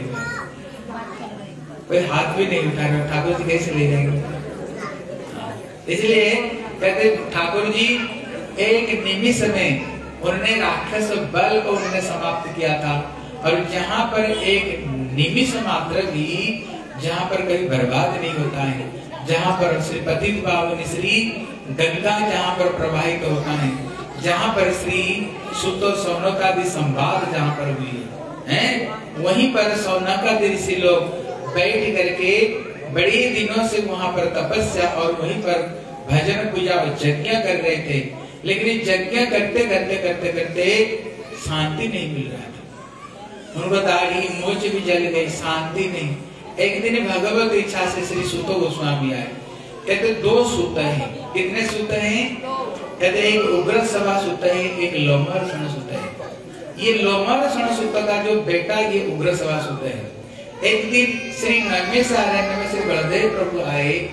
उसी समय जो लोमर सण सूत वहाँ पर पुराण पाठ कर रहा था। और वहाँ पर बैठ करके ब्राह्मण लोग, ऋषि लोग, ये पुराण को सुन रहे थे। लेकिन नियम है, जब श्री गुरुदेव आ जाए, अध्यात्म देकर सुनो। अच्छे तरह सुनो, जब श्री, अगर तुम कोई ठाकुर का सेवा कर रहे हो, पूजा कर रहे हो, कुछ भी कर रहे हो, अगर वहाँ पर कोई बड़े संत आ जाए, नहीं तो अगर कोई गुरु जी आ जाए ना, देखो, नियम है, तुम जितने बड़े काम क्यों नहीं करें। तुम ठाकुर जी को पूजा भी क्यों नहीं कर रहे हो? कहना गुरु गोविंद दो खड़े कहा के लाभ पाऊँ, बलि हरि श्री गुरु जी जो गोविंद दिए बताओ अगर गुरु जी अगर आ गए, वहाँ पर जैसे अगर बैठे हो, ऐसे नहीं, गुरु जी आ गए तो बैठे रहेंगे। नहीं, ये गुरु जी की अपमान ना है। इसलिए कभी बृहस्पति आए, इंद्र जी की बड़े स्लोगान हो रहा था। इंद्र विजय प्राप्त किया तो गले में मोटी मोटी माला दे रहे थे। और महाराज इंद्र की जय जयकार हो रही थी इतने में बृहस्पति जी उनकी कल्याण करने के लिए आए। इतने में इंद्र जी गुरु जी को दूर से देखा।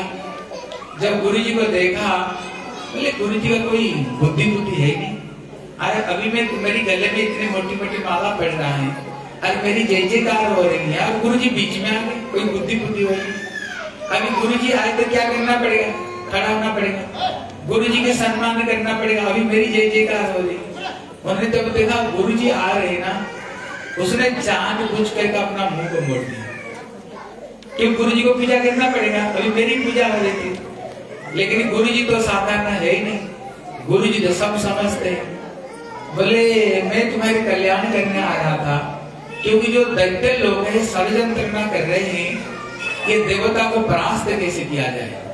कहते हुए तेरे कल्याण के लिए मैं आ रहा हूँ और मैं आ रहा हूँ देख करके तुमने मुँह मोड़ लिया। इतने में क्या हुआ? वहाँ से बृहस्पति वहाँ से चले गए। जब बृहस्पति चले गए, देखो, जब हमारी व्यवहार से अगर गुरु जी नाराज़ हो गए हो गए ना, तुम्हारे जितने श्री संपत्ति, वैभव, सबके सब खत्म हो जाए सबके सब विनाश हो जाएँगे। इसलिए उन्होंने गुरु जी को देख करके उन्होंने क्या की? उन्होंने मुँह को उन्होंने मोड़ दिए। जब मुँह उन्होंने मोड़ दिए, जब उन्होंने मुँह को उन्होंने मोड़ दिए, इसको देख करके गुरु जी तो वहीं से चले गए। गुरु जी वहीं से गुरु जी चले गए। जब चले गए उनके चेहरे तो इसलिए जब गुरु जी वहाँ से चले गए, इतने में गुरु जी चले जाते ही हुआ पर लगा जिला इसलिए जब गुरु जी चले गए इतने में। गुरु जी चले जाने पर फिर तो दैत्यो शुक्राचार्य को पता चला। अभी इनको ऊपर में गुरु जी नाराज़ हो गए हैं। माता जी आप पीछे आ जाओ। उधर जाकर बैठ जाओ। ऊपर बैठ जाओ। इतने में श्री गुरु जी जब चले गए, बृहस्पति श्री शुक्राचार्य जब ये बात पता चला, उन्होंने दैत्यों को बुलाया। बोले, देखो अभी इनको ऊपर में गुरु जी नाराज़ हो गए हैं। नाराज़ हो गए मतलब इनकी सारे स्त्री भ्रष्ट हो गया। चलो आक्रमण करो। आक्रमण किया ना, सारे देवता को मार मार करके वहाँ से भगा दिए। सारे देवता को भगा दिए और इंद्र पद को दखल कर लिया। इसलिए यहाँ पर श्री, जब श्री बलदेव प्रभु वहाँ पर आए, तभी जो बलदेव प्रभु है, ये मूल गुरु तत्व श्री बलदेव प्रभु है। अभी बलदेव प्रभु को देख करके श्री उग्र सभा जो सूत थे, उन्होंने बोले गुरु जी आए, बैठ जाएँगे, उसमें क्या हो गया? है? गुरु जी आए, बैठ जाएँगे, अभी मैं कथा कर रहा हूँ। है? अभी मेरी इतनी पूजा हो रही है। उन्होंने गुरु जी को उन्होंने सम्मान नहीं की बोले, लगता है तू तो कथा कर रहे हो। किसी संतों की आनुगत्य में भक्ति तुमने नहीं सीखे। किसी संतों की आनुगत्य में तुमने भक्ति नहीं सीखी। उन्हें उठाया एक तीन घास बलदेव पर उसी से उन्हें गला काट दिया। और वहाँ पर हाकार मच गया। हाकार मच गया, अभी फिर क्या होएगी? अब भी क्या होगा? बोले, चिंता नहीं पुराना तो सुना के बोले हाँ बलदेव प्रभु तो साक्षात कृष्ण अभिन्न। उनको एक छोटा बेटा था जिसका नाम था उग्र सभा सुत उग्र सभा मतलब क्या है? जो एक बार जो सुन ले, सब याद कर ले। इसलिए जब श्री सुखदेव गोस्वामी जब ये भागवत कथा कर रहे थे, ये उग्र सभा सबसे पीछे बैठे हुए थे। सब तो पीछे बैठे हुए थे, लेकिन वहीं पर बैठ बैठ करके सारे ज्ञान को उन्होंने आहरण कर लिया। एक बार केवल सुन करके सारे ज्ञान का आहरण कर लिया बलदेव प्रभु उनका सर पर हाथ रखते ही सारे ब्रह्म विद्या, उनके हृदय में स्फूर्ति हो गई। धड़ाधड़ सारे पुराण बोलना शुरू कर दिए। इसलिए वहाँ पर जब श्री सुतो गोस्वामी आए सोनकाद ऋषियों ने उनका आसन दे करके बैठा है बोले आप तो गुरु जी की कृपा से समस्त वेद पुराण इतिहास को आपने गुरु जी की कृपा से सब कुछ आपने प्राप्त किया है इसलिए आप हमें कृपा करके बताओ कि जो कली युग है, बोले प्रायण अल्पायुष सभ्य कालवस्मी जुगे जना मंद मंद भाग्य जुपद्रुता बल्कि कली युग में क्या है? प्राय करके लोग का आयु कम है। लेकिन पहले पहले नियम होता था, जैसे सत्य युग में एक लाख साल तक ज़िंदा रहते त्रेतया युग में दस हज़ार साल। द्वापर युग में एक हज़ार। कल युग में एक सौ हो गया। कितना हो गया? अभी कल युग में सौ साल कोई ज़िंदा नहीं रहते। क्योंकि हर चीज़ में हाइब्रिड देकर बनाते हैं कोई चीज़ प्योर नहीं मिलती है। अभी कोरोना आई थी ना कोरोना में कितने लोग चले गए? फिर कहते तीसरा लहर भी आ रहा है। आप तो गाँव है इसलिए कथा हो रही शहर में कथा नहीं हो पा रही अभी अभी तो मैंने दिल्ली नोएडा में कथा करके आया जब कथा करके आया ना अभी वहाँ पर ये हो गया बीस लोग से ज़्यादा कहीं एकत्रित नहीं हो, सक, हो सकते हैं। सारे मंदिर को बोले बंद कर दो। सारे मंदिर को बंद कर दो। अभी थोड़ा ये गाँव का तरफ़ है ना? इसलिए आप लोग यहाँ कथा सुन रहे हो। शहर में होना संभव नहीं है। हैं? शहर में होना संभव नहीं। इसलिए कलयुग का परमायु तो सौ साल है। अभी तो कोई सौ साल भी ज़िंदा नहीं रहते पता नहीं कब ये मृत्यु आ जाए। बोले, निश्वास से नैवे विश्वास कदा ये निश्वास में कोई विश्वास नहीं, पता नहीं ये निश्वास कब बंद हो जाएगी।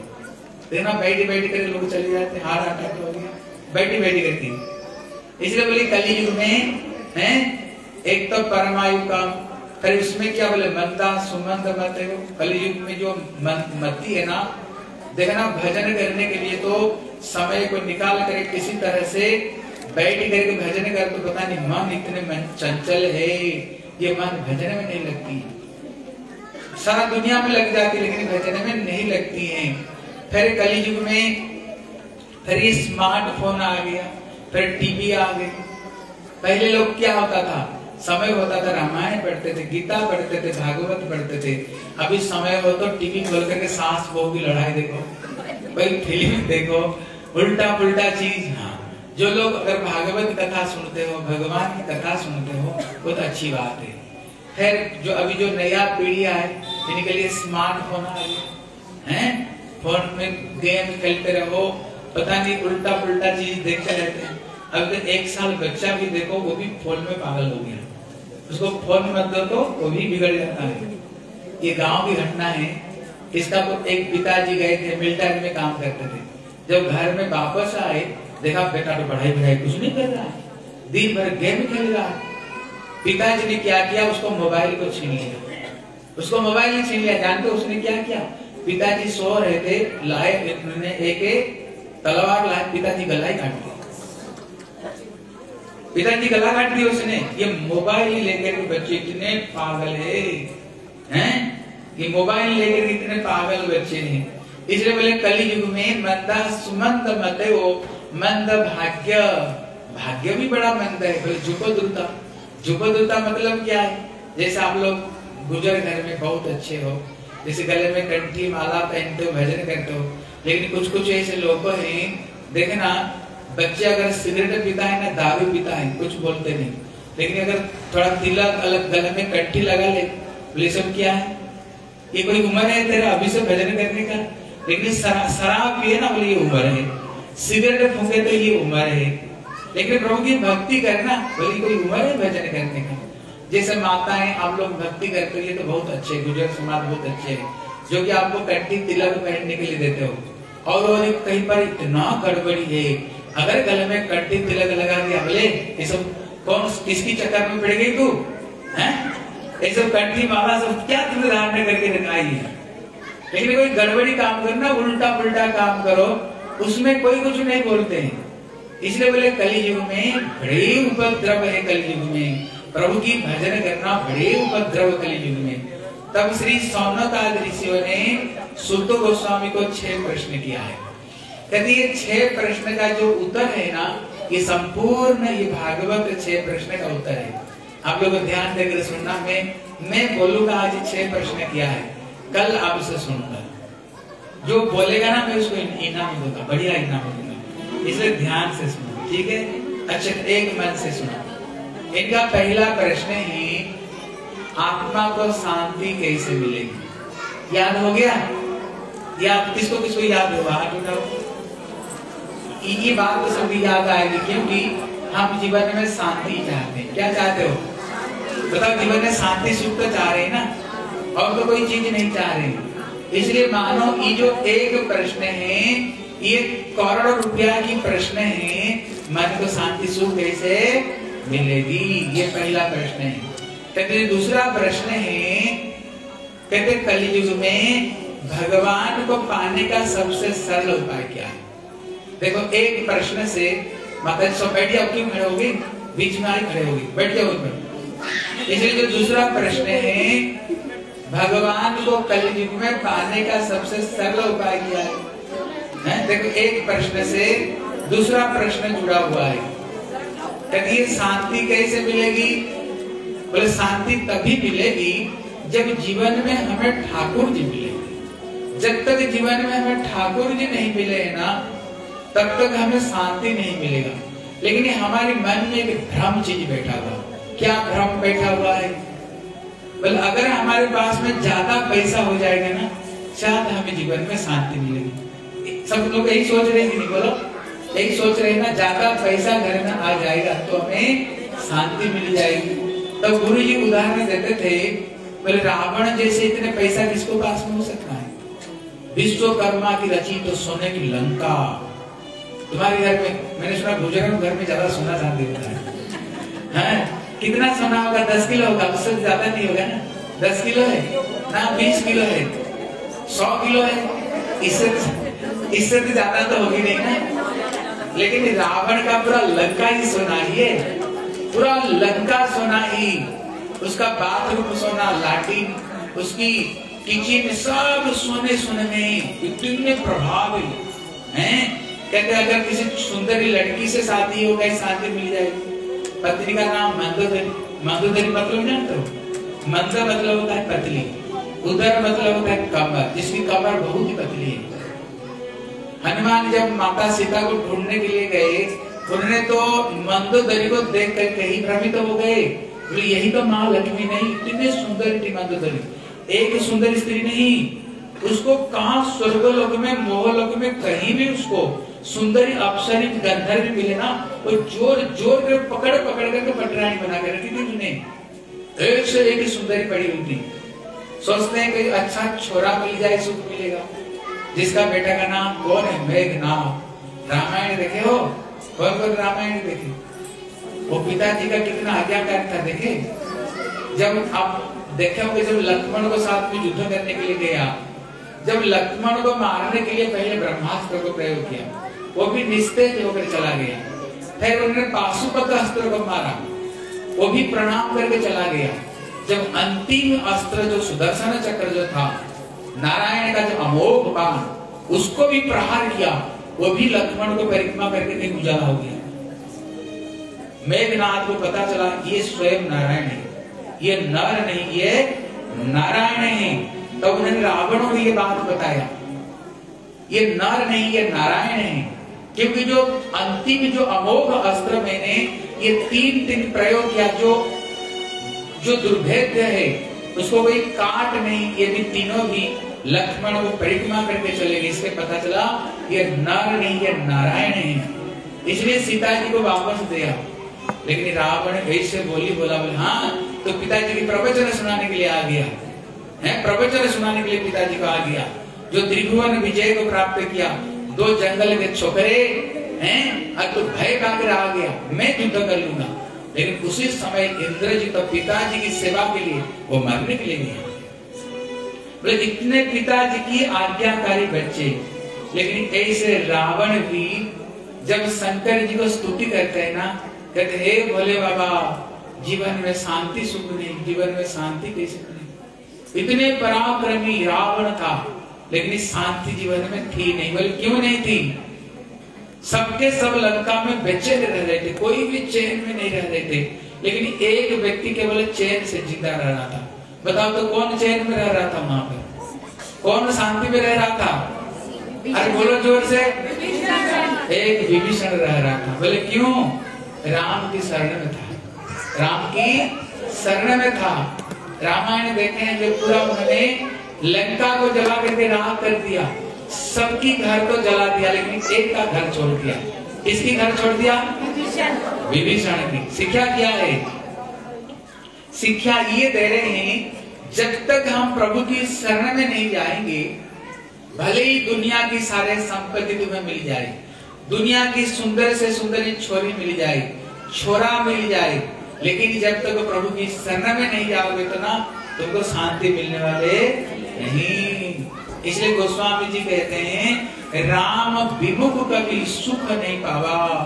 भगवान से विमुख होकर के अभी तक तो किसी को भी शांति सुख मिला नहीं। इसलिए यहाँ पर जो दूसरा जो उनका प्रश्न है कलयुग में भगवान प्राप्ति का सबसे सरल उपाय क्या है? जो तीसरा प्रश्न है इनकी, हमें भगवान कृष्ण की सुंदर सुंदर कथा सुनाओ। कृष्ण कैसे ब्रज में जन्म लेकर सुंदर सुंदर लीला की, कैसे मथुरा में कंस उद्धार की, कैसे द्वारका में सोलह हज़ार एक सौ आठ पटरानियों से शादी की। कृष्ण एक होने पर भी कृष्ण तीन ही एक ब्रज का कृष्ण एक मथुरा का कृष्ण और एक श्री द्वारका का कृष्ण। ये सब कृष्ण की हमें कथा सुनाओ।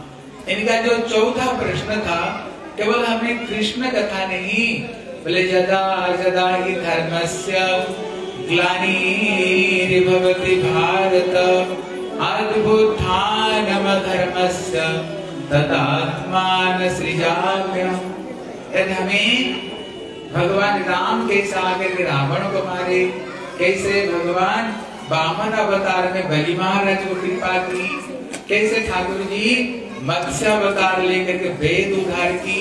कैसे कुर्मा अवतार में कैसे ठाकुर जी मंदराचल पर्वत को धारण किया? हमें कृष्ण की जितने अवतार का भी कथा हमें सुना और इनका जो पंचमा प्रश्न है, भगवान की अद्भुत जस सुना भगवान कैसे कनिष्ठ अंगुल में श्री गिरिराज को कैसे धारण कर लिया। बोले श्री गिरिराज बाबा की और ज़ोर से बोला एकादशी का दिन। बोले श्री गिरिराज महाराज की हाँ, इसलिए कैसे कृष्ण कैसे सुंदर सुंदर कैसे रासलीला किया। एक कृष्ण हर गोपियाँ देख रहे कि कृष्ण सब हमारे साथ में कृष्ण है हैं? और कृष्ण के नाम की महिमा। कैसे अजामिली ने अपना बेटे को कैसे नारायण बोला, भगवान को नारायण नहीं बोला? वो अपना बेटे को उसने नारायण नारायण बोलते बोलते उनकी उद्धार हो गई। इसलिए उनकी अद्भुत जस की कथा सुनाओ। और जो छठवा प्रश्न है, जब भगवान ये दुनिया छोड़ कर गए, फिर ये कलयुग में धर्म आश्रय कहाँ पर लिया?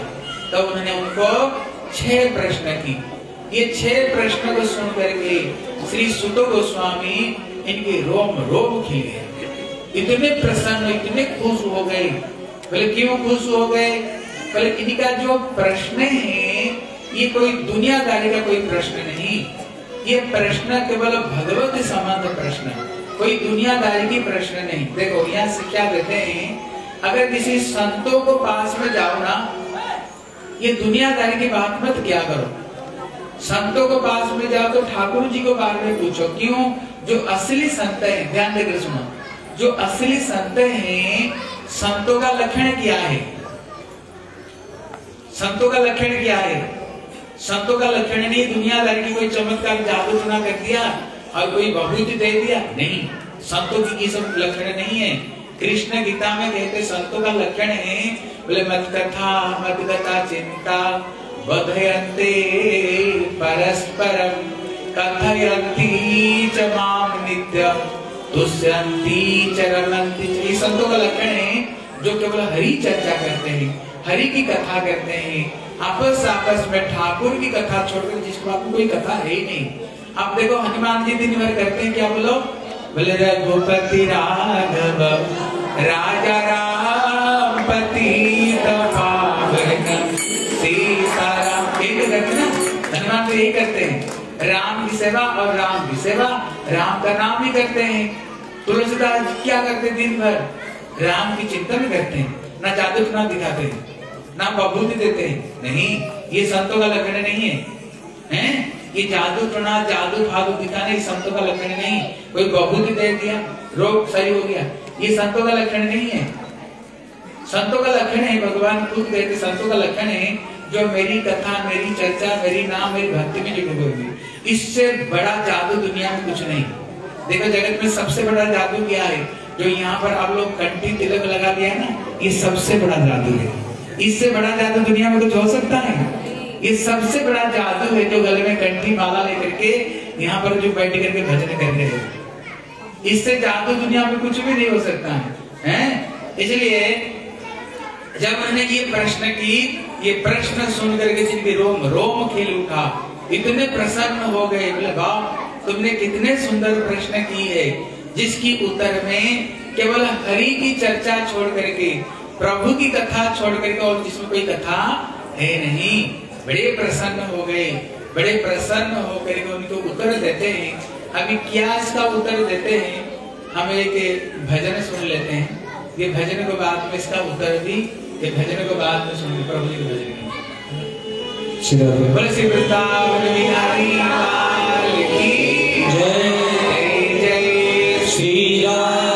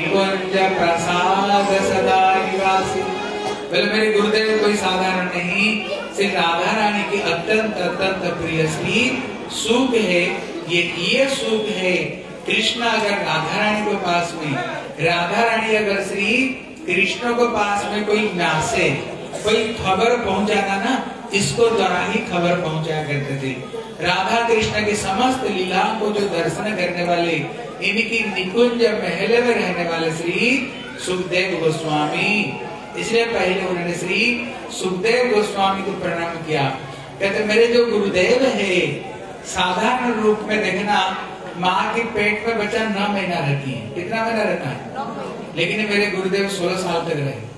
गर्भ से निकलना नहीं चाह रहे थे। इतने में जब उनकी पिताजी बोले, भैया, तू कौन हो? माँ को इतना कष्ट क्यों देते हो? निकल करके आ जाओ। अंदर से आवाज़ आई, मैं नहीं आऊँगा। बोले, क्यों? बोले संसार बड़ा माया की संसार है।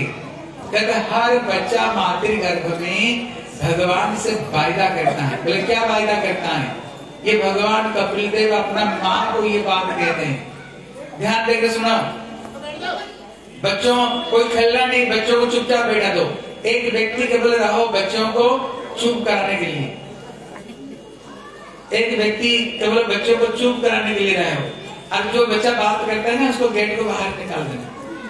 बोलो, वृंदावन बिहारी लाल भगवान कपिल देव अपना माँ को कहते बोले, माँ माँ की पेट में आना और नरक में आना बराबर है। जैसे कोई गट्टर हो ना, जिसमें टाटी पेशाब बह रहा है, अगर तुमको एक घंटा रख दिया जाए, कैसे लगेगा राम नाम सत्य हो जाएगी। लेकिन जब पेट ये गटर है क्यों अंदर में क्या बताओ वही टाटी पेशाब खून पी गया ना, बच्चे का सर नीचा और पैर ऊँचा रहता है लटका हुआ रहता है। माँ की पेट में जो बच्चे हो, देखना, माता को चटपट चीज़ अच्छी लगती है। मिर्च, मसाला, गर्मी, ये सब चीज़ अच्छी लगती है, हैं? इसलिए उसी समय माँ भी इस चीज़ को खाती रहती है। कभी कभी तो चमड़ा भी नहीं होता है पहले एकदम मांस पिंडला बना हुआ रहता है। और उसका अगर कोई मिर्च मसला दे तो बढ़िया लगेगा इसलिए ठाकुर जी कहते बोले, माँ, ये माँ की पेट में आना, नरक में आना ये बराबर है। उसमें नौ महीना बिताना पड़ता है। लेकिन बच्चे को जब ज्ञान हो जाएगा सात महीना में हज़ार जन्म की याद आता है। पहले पहले जन्म में मैंने कैसे कैसे पाप कर्म करके पैसा कमाया, कैसे झूठ बेईमानी की, जिनके लिए वो पत्नी कहा, वो बच्चे कहा, वो पिता कहा, कौन कहा है? सब सुख का समय में सब मदद किया, लेकिन दुख में कोई है नहीं। पूरा उसको याद आता है, संसार मतलब का संसार, कोई किसके है नहीं। हाँ ये झूठा संसार है। इसलिए तुझको किस तुमको कुछ से कुछ मिल रहा है इसलिए जगत में प्रेम दिख रहा है। जगत में तो प्रेम है ही नहीं। जगत में केवल स्वार्थ है। स्वार्थ की वजह से हम लोग संसार में सबके साथ जुड़े हुए स्वार्थ खत्म हो जाए, सब बिखरते हुआ मिलेगा। है? उसको याद आता है। ठाकुर जी से कसम खाता ठाकुर जी ये नरक से हमें जल्दी जल्दी निकालो। ठाकुर जी कहते, बताओ अभी क्या करोगे? बोले, एक बार केवल मेरे को निकाल देना। मैं कान पकड़ता हूँ। कभी भी ये झूठा संसार में फंसूँगा नहीं। उठते बैठते सोते तेरे नाम जप करूँगा। बोले ऐसे नहीं कष्ट पा करके तुम मेरे को याद कर रहे हो। जब जन्म दे तो भूल तो नहीं जाऊँगे। बोले प्रभु एकदम भूलूँगा नहीं। ठाकुर जी कहते हैं अगर भूल जाओगे ना बीच बीच में तेरे को मैं वार्निंग भी दूँगा। बोले क्या वार्निंग दोगे? हाँ ध्यान देकर सुनो। देखना जब बाल पकता है कहाँ से देखना यहीं से। कानों में पहला बेल पड़, पड़ गया। कानों में पहला बेल पड़ गया, बोले, सावधान, समय हो गया ऊपर जाने का। लेकिन उसको आदमी हम नहीं सुनते। जब एक बाल पक जाए ना देखना हम उसको उखाड़ देते हैं। बोले, इतना जल्दी बुढ़ा बुढ़ी बना रहे हमें कुछ नहीं हुआ, अभी चंगे फिर दूसरा बाल पक जाए, फिर उसको भी उखाड़ देते हैं। तीसरा बाल पक जाए, उखाड़ देते जब खिचड़ी हो जाए, फिर तो मेहंदी लगा, कलर कर देते हैं। हाँ? थोड़ी हम बुढ़ा बुढ़ी कुछ बुढ़ा बुढ़ी हुई फिर कहते, दूसरा बार नहीं, की दूँगा बोले, क्या दोगे?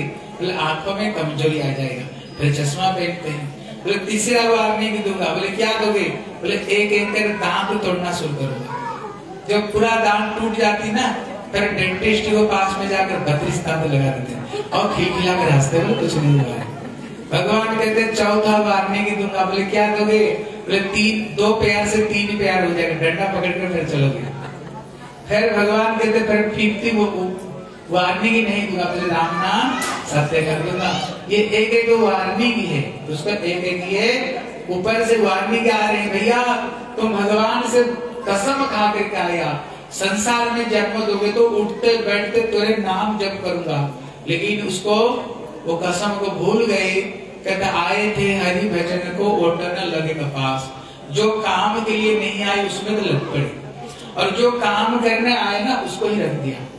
जो करने नहीं आए थे उसमें लग पड़े, जो करने आए थे उसको पीछे रख दिया। हाँ देखो, आप लोग बुरा मत समझो। हमारे गुरु जी कहते थे, अच्छे तरह से ध्यान देकर समझो। अगर किसको बोले थोड़ा भजन करने के लिए ना, बोले, समय कहाँ है? हरिनाम के लिए समय कहाँ है? आप देखना, अक्सर करके संसार में हम जो काम करते हैं, दूसरों को कैसे खुश रखें? अपना बच्चों को कैसे खुश करें? पत्नी को कैसे खुश करे, पति को कैसे खुश रखे, देवर ननद सास को कैसे खुश रखे, देखना इसीलिए करते कि नहीं? अपना लिए तो देखना घर में सबको खिलाते खिलाते अगर कोई मेहमान आ जाए, अगर कुछ नहीं रहे ना, रोटी में दो रोटी नमक में दो रोटी खा लेते। खा लेते कि नहीं? नमक से दो रोटी खा लेते। करते हुए नहीं?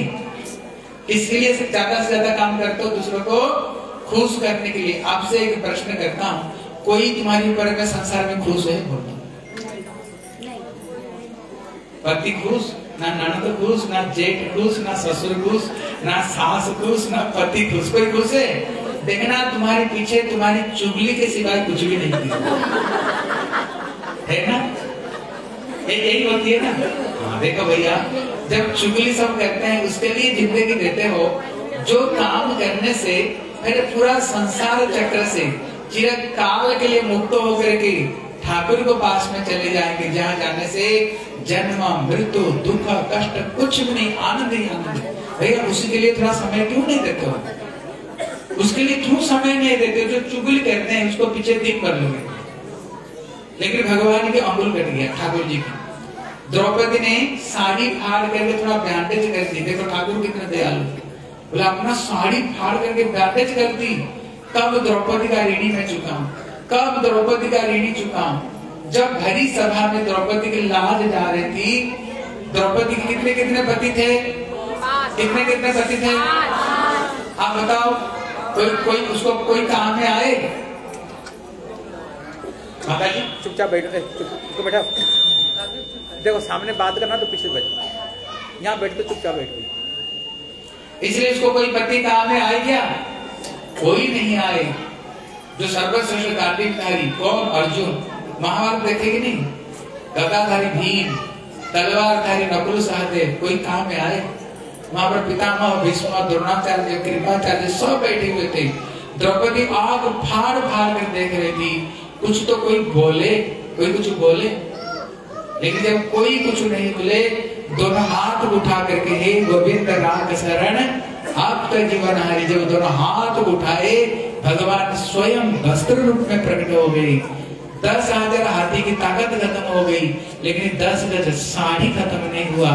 दुनिया देख रहे थे साड़ी बीच कोई नारी, न नारी स्वयं साड़ी बन गई। इसलिए भैया, दुनिया में कोई भी काम में आने वाले तुम्हारे नहीं। है, कोई भी आने आएगा तो कौन आएगा? केवल भगवान के नाम ही आएगा। ठाकुर जी की, इसलिए मरते समय क्या बोलते बोलते ले जाएँगे? बोले ना, राम नाम सत्य है। गोपाल नाम सत्य है, सत्य बोले गत्य है, सब कोई बार झूठा है। हैं? केवल ठाकुर का नाम ही साथ में जाएगा। इसलिए क्या करना? भगवान भजन के लिए थोड़ी सी समय निकालो, जो तुम्हारी साथ में जाएगा। ठीक है?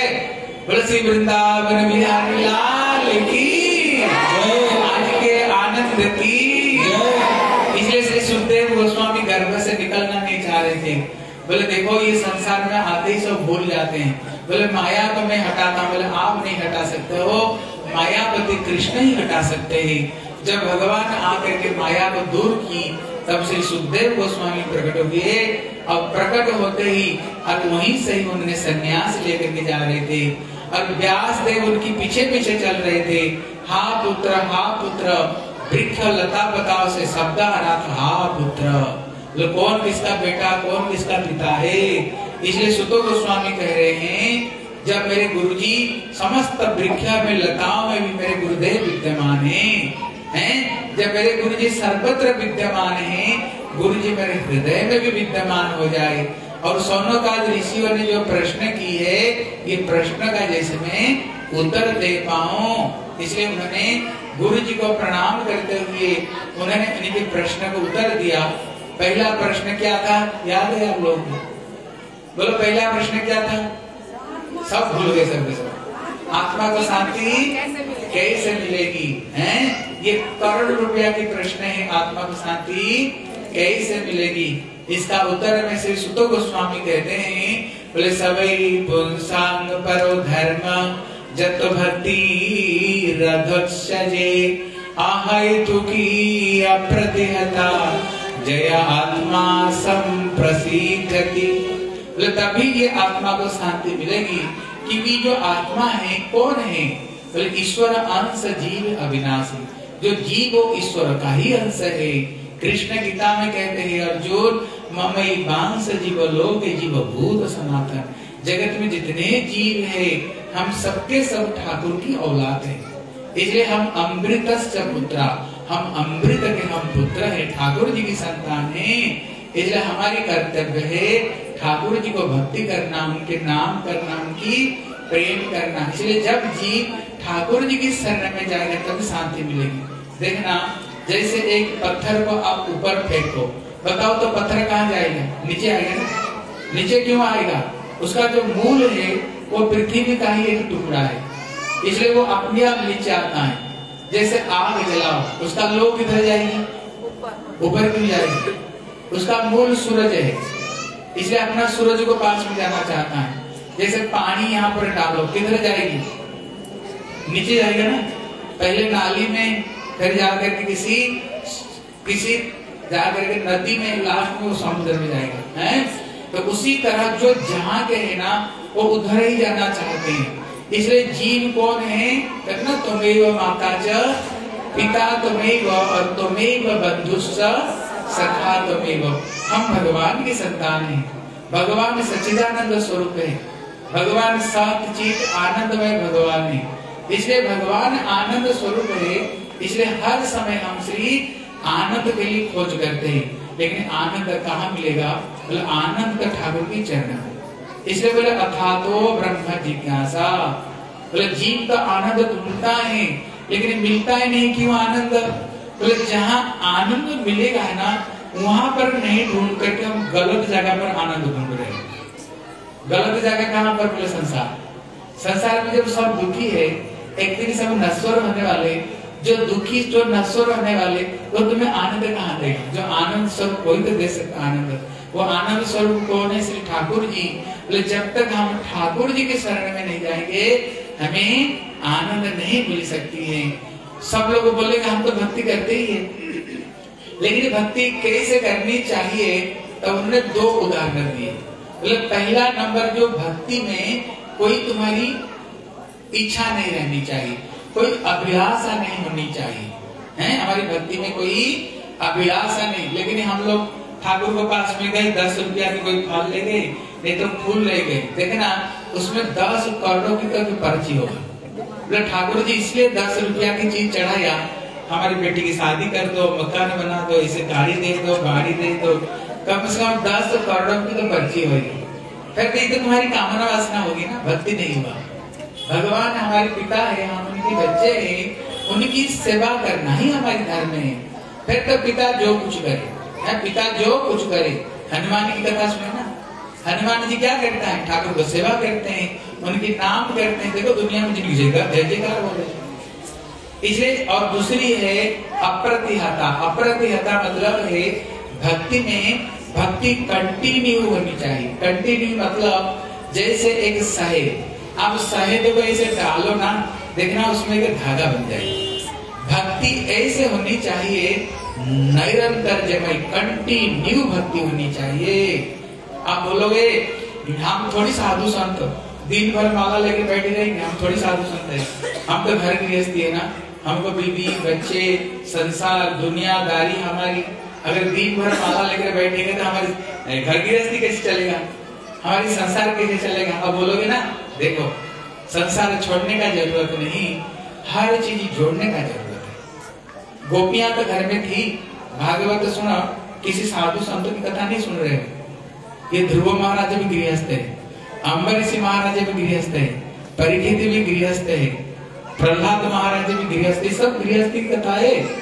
ये ब्रज गोपियाँ भी घर में थी, कोई संसार त्याग नहीं की। भागवत में कोई त्यागी संतों की कथा नहीं हो रही, सब गृहस्थ की कथा हो रही है। बोले, कब तक ये माया है? ब्रह्मा कहते, कब तक ये माया है? बोले, तब तक माया है जब मैं और मेरा भाव रखो मैं कौन हूँ? ठाकुर का सेवक हूँ। जो कुछ है, किसका? ठाकुर जी की। जैसे घर बनाओ, बड़े सुंदर। लेकिन घर का मालिक कौन? किसकी कृपा से घर मिला है? ये घर नहीं मानो ठाकुर जी की मंदिर है। रसोई बनाओ, बढ़िया बढ़िया रसोई बनाओ। बोले, क्यों बना रहे हो? ठाकुर को भोग लगेगा। घर में झाड़ू लगाओ। कहाँ झाड़ू लगा रहे हो? बोले, भगवान की मंदिर में। ठाकुर जी की मंदिर में झाड़ू लगा रहे हो। बच्चे को थपथपे लगा कर सुला रहे हो। बच्चे किसने दिया है? किसकी बच्चे हैं? आप बताओ, बच्चे किसका है? ठाकुर का बच्चा है। गोपियाँ जैसे घर में रहती थी ना? इधर झाड़ू लगा रही हैं और इधर कीर्तन करती हैं। बोले, गोविंद दामो, धर्माधवेती, गोविंद दामो, धर्माधवेती। इधर कीर्तन करती हैं और इधर झाड़ू लगाती हैं। इधर बच्चे को थप थप लगा कर सुना रही उधर क्या कर रही है? हरे कृष्णा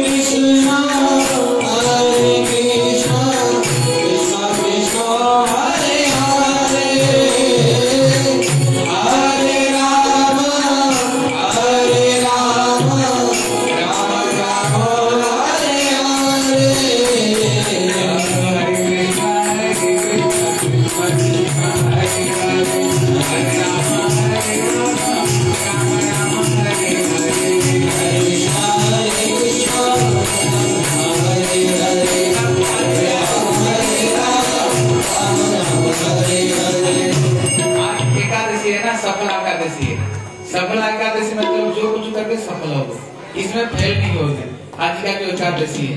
और एकादशी में फिर भागवत कथा समझो चार चाँद लग गया दोनों हाथ में लड्डू लड्डू एक तो एकादशी और फिर सफल एकादशी। इसलिए सबके सब हाथ में ताली बजाते हुए, जो जितने ज़ोर से ताली बजाएगा, उसको भाग्य रेखा बदल जाएगी। अगर कोई तो इधर उधर भाग्य हो ना उल्टा पुल्टा ताली बजाओ, भाग्य रेखा ठाकुर जी बदला देंगे ज़ोर ज़ोर से।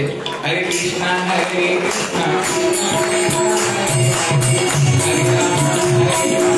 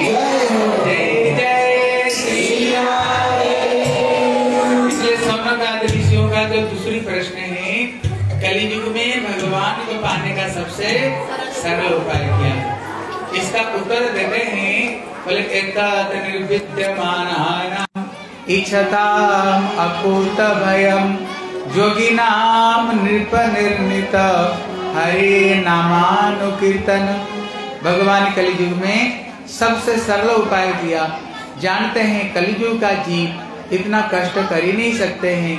बोले कलियुग में ज़्यादा कोई परिश्रम करने का ज़रूरत नहीं। हाथों में जो कुछ कर ठाकुर को सेवा मान कर हाथों में काम और मुँह में ठाकुर जी के नाम। हाथों में काम और मुँह में कोई बोल नहीं रहे हो। मुँह में क्या करो? नाम। हाथों में काम और मुँह में ठाकुर जी की बस बेड़ा पार है। सत्य युग में तपस्या करो। लाख लाख साल तक करते थे, हज़ार हज़ार साल। कली युग में अगर जैसे आज एकादशी व्रत है ना एक एकादशी जीव निर्जला नहीं कर सकते हैं। अगर कोई व्रत आगे निर्जला करे, बोले, भैया ये काम कर दो। बोला, आज मेरा व्रत है। मतलब एक दिन भी भूखे रह नहीं सकते।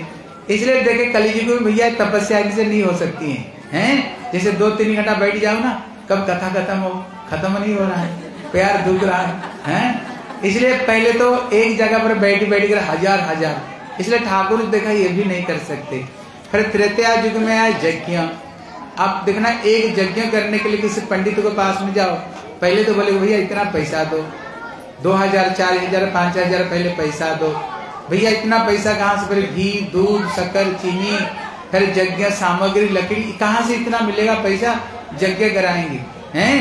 फिर द्वापर युग आया, बोले, अर्चन।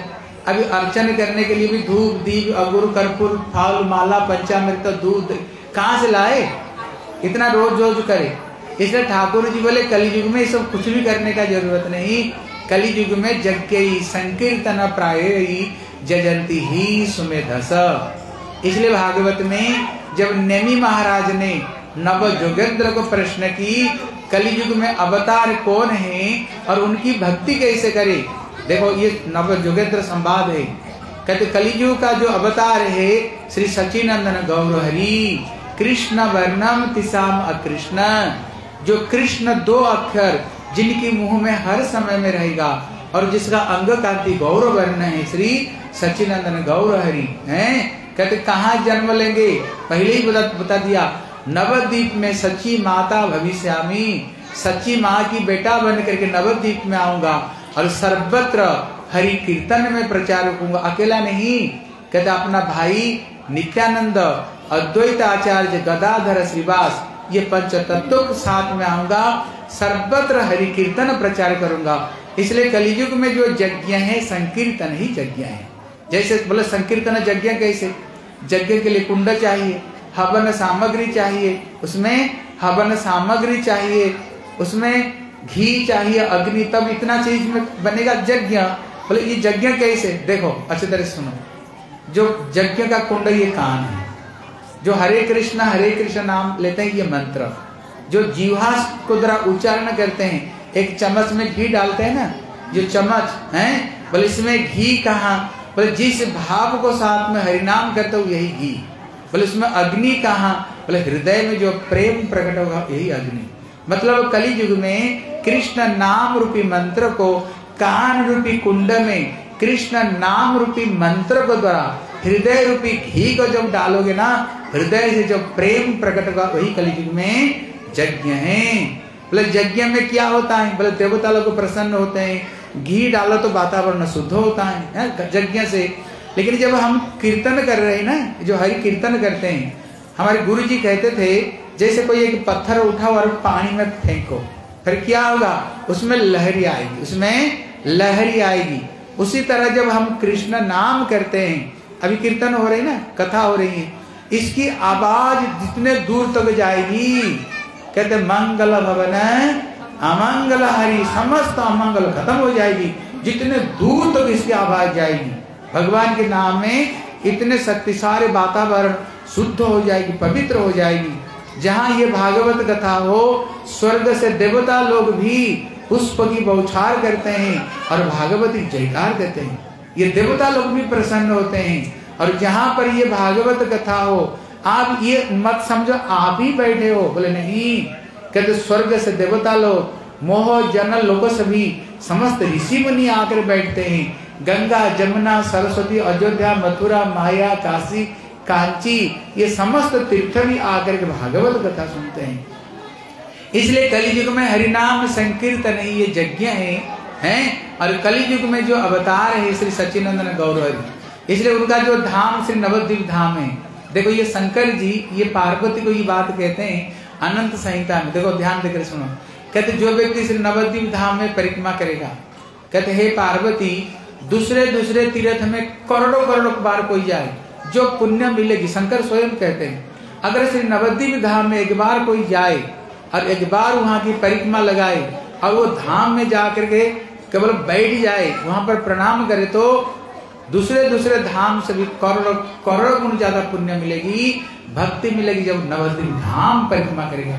इसलिए इस बार हमारे श्री सरिता दीदी यहाँ से कुछ गुजरी लोग जा रहे हैं। कितने गुजरिया जा रहे हैं? यहाँ से नहीं सब जगह से। सब जगह से हमारी सौ लोग हाँ। करीब सौ हमारी गुजरी। देखो जो गुजरी भाग से ना गुजरी गोपियाँ है ना अभी हम देख रहे हैं ये गुजरी का जय जयकार हो रही सब जगह। सबसे ज़्यादा ही गुजरी ज़्यादा भक्ति कर रहे हैं। कि गोपी गुजरी मतलब गोपियाँ हैं हैं? इसलिए अगर कोई नवद्वीप धाम में जाना चाहते हो, देखो ये करुणा क्या करता है, अगर गड़बड़ी नहीं हो, फिर तो हमारी सरिता दीदी जा रही है गंगा सागर के पास में गंगा सागर। कहते ना, सारे तीर्थ बारह बार गंगा सागर, एक बार। गंगा सागर भी दर्शन होगा और नवद्वीप धाम में परिक्रमा भी होगी। अगर कोई जाना चाहते हो, सबके सब दीदी से कंटैक्ट नंबर लेना, फिर तो पहले से टिकट बनाओ और नवद्वीप धाम को परिक्रमा करने चलना, ठीक है? बोले श्री सचिनंदन गौर हरि की। बोले श्री नवद्वीप धाम की। जय जय श्री हाँ देखो, हमारे बीच में हमारी एक विपिन प्रभु जी हमारे गुरु जी के बड़े प्रिय इधर आ गया। ये हमारे विपिन विपिन प्रभु जी है, ये हमारे जो बड़े गुरु जी है हमारे बड़े गुरु जी के शिष्य है। ये बहुत सेवा करते हैं। उनको माइक दे दो तो माइक दे दो। इसलिए हमारे मंदिर में बहुत प्रभु जी सेवा करते हैं हर तरह से। जैसे नवद्वीप पर ये ब्रजमंडल परिक्रमा एक महीना होता है ना ब्रजमंडल परिक्रमा में। उसमें बहुत स्थान से भक्त लोग आते हैं। बहुत गरीब लोग भी आते हैं, जिनके समर्थ नहीं हो पाता है पूरी पूरी परिक्रमा लगाने। एक महीना की। हमारे श्री बिपिन प्रभु जी हर तरह से उनके लिए चावल की व्यवस्था जो नवद्वीप धाम में जाओगे, आप देखोगे हज़ार हज़ार लोग वहाँ जाते हैं। वहाँ सबके लिए पतल की व्यवस्था, दाल की व्यवस्था, प्रभु जी, ये विदेश में भी अच्छी नौकरी करते हैं। विदेश में भी इनकी, अंग्रेज़ी में भी कथा करते हैं कि जूम में भी विदेश का लोग भी इनकी कथा सुनते हैं। बड़े सुंदर सुंदर प्रभु जी। है उसमें?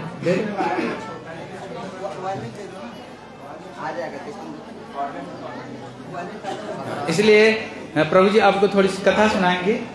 भक्ति के बारे में प्रभु जी आपको थोड़ा कथा ठीक है हाँ।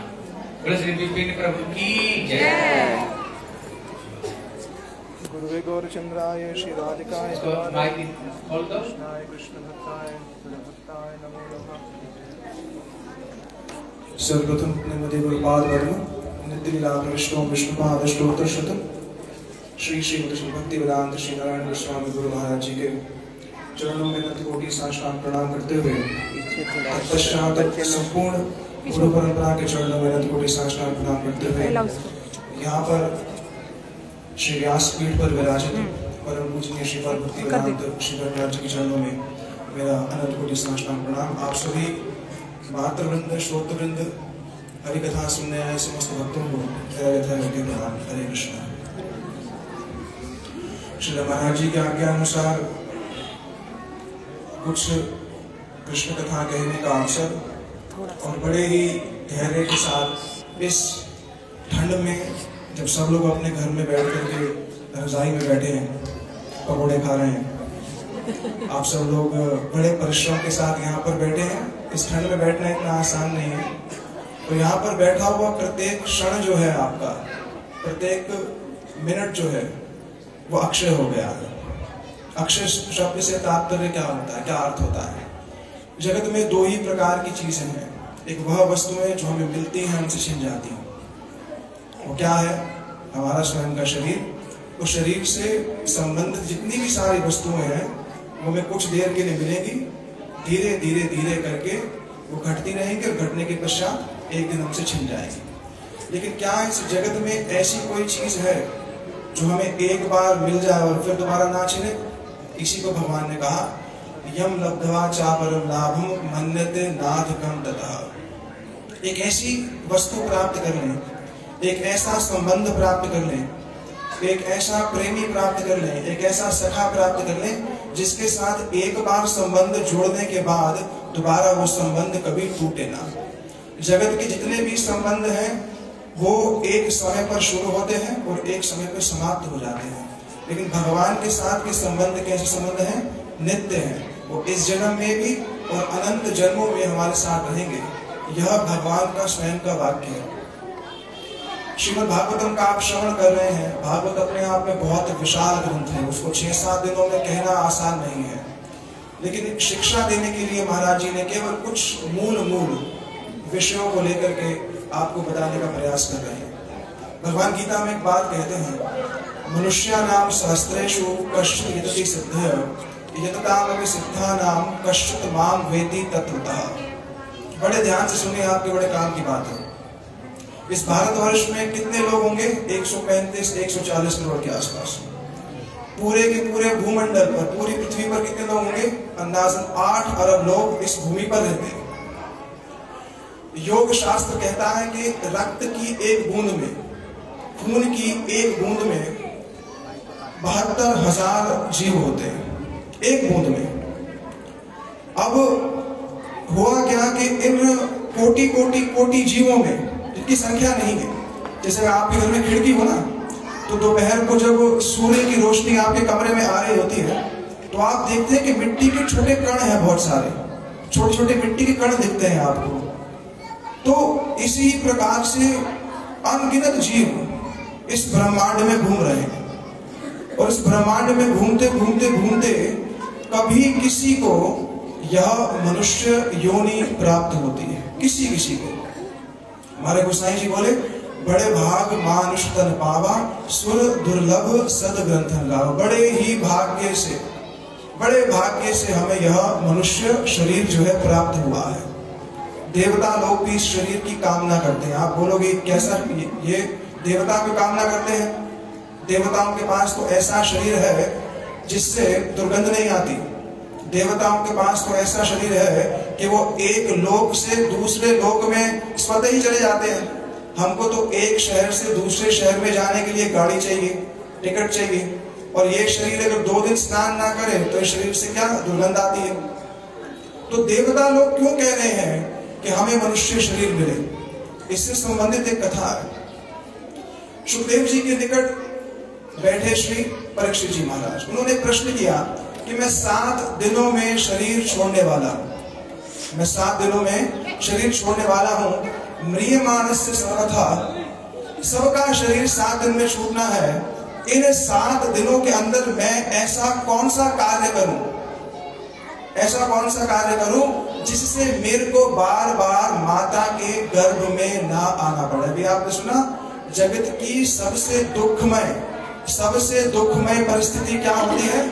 माता का गर्भ। इसको हमारे सुखदेव गोस्वामी ने कहा कि कर्मणा देव नेत्रेण जीव देव उत्पत्ति स्त्री पुंसाम पुंसाम रेद गणाश्रय। क्या हमने अपनी माता का चुनाव किया था? क्या हमने अपनी माता का चुनाव किया? हमें तो अपने कर्म के अनुसार किसी माँ के गर्भ में फेंक दिया गया। क्या हमसे पूछा था? कि तुम्हें कौन सी माँ चाहिए? नहीं। तो फिर किसी को मनुष्य के गर्भ में फेंक दिया। किसी को पशु के गर्भ में फेंक दिया। ऐसा क्यों? एक व्यक्ति के पास बहुत बड़ी गाड़ी है। आप यहाँ के लोग तो फॉर्चुनर बहुत यूज़ करते हैं। हमारे वहाँ मर्सिडीज चलती है। यहाँ के लोग एक बहुत बड़ी गाड़ी है फॉर्चुनर उसी ही फॉर्चुनर गाड़ी पर एक व्यक्ति, वो आदमी जो है रेड लाइट पर रुकता है। रेड लाइट पर रुक के क्या होता है? एक भिखारी आता है। उसी ही गाड़ी को कहते हैं, बाबा, पाँच रुपए दे दो। तो ये जिसके पास इतनी बड़ी गाड़ी है और एक ये भिखारी है, ये भेद किसने पैदा किया?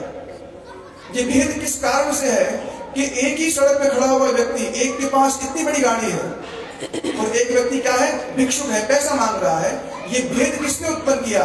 ये भेद उत्पत्ति की हमारे कर्म ने। हमारे कर्म के अनुसार हमें एक विशेष प्रकार का शरीर और उसी के अनुसार ही हमें कुछ सुख और कुछ दुख प्रदान कर दिए गए। सबको, हम में से किसी ने भी अपनी माता के गर्भ का चुनाव नहीं किया था, हमें अपने कर्म के अनुसार ही माता गर्भ में फेंक दिया गया। अब जब जीव गर्भ में होता है, अभी महाराज जी बता रहे ना कि गर्भ की परिस्थिति क्या होती है? एक सामान्य पंडित जी थे, वो ऐसे किसी गाँव से जा रहे थे। जब गाँव से जा रहे थे तो एक माता, बड़ी सरल हृदय की माता थी। उन्होंने कहा, हमारे यहाँ पर आकर प्रसाद पाइए। माताओं का स्वभाव होता है। किसी भी साधु को देख करके स्वतः ही उनको अपने घर में बुलाती है और ये साधु लोग आते ही क्यों हैं? महाराज जी को आपने बुलाया क्यों ना? आपके निमंत्रण से नहीं आए महाराज जी का स्वभाव है कि जगत के जीवों को देख करके उन पर करुणा करने का। आपने नहीं बुलाया उनको। ये भागवत जी आपके मेरे किसी के बल से नहीं आएँगे।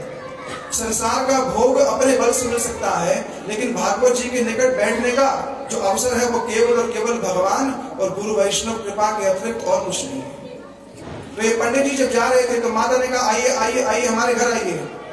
हम आपको बहुत सुंदर जो है प्रसाद खवाएँगे क्या प्रसाद खवाएँगी पूड़ी देंगी, आलू देंगी, हलवा देंगी, खीर देंगी, माल पुआ देंगी अब बोलो एकादशी के दिन तो ऐसी बात मत करो है तो एकादशी और बात कर रहे हो उस दिन की। ये लोग है, आज मत खा लेना जा करके, खाना कल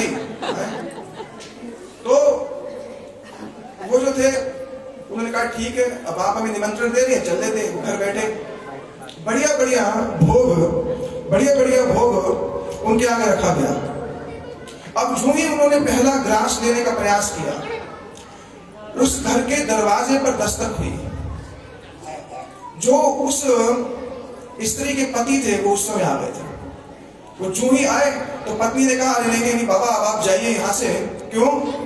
बोले, मेरे पति को पता चल गया कि मैंने उनसे बिना पूछे किसी को अपने घर में बुलाया है तो उनको अच्छा नहीं लगेगा। तो क्या करूँ मैं अब?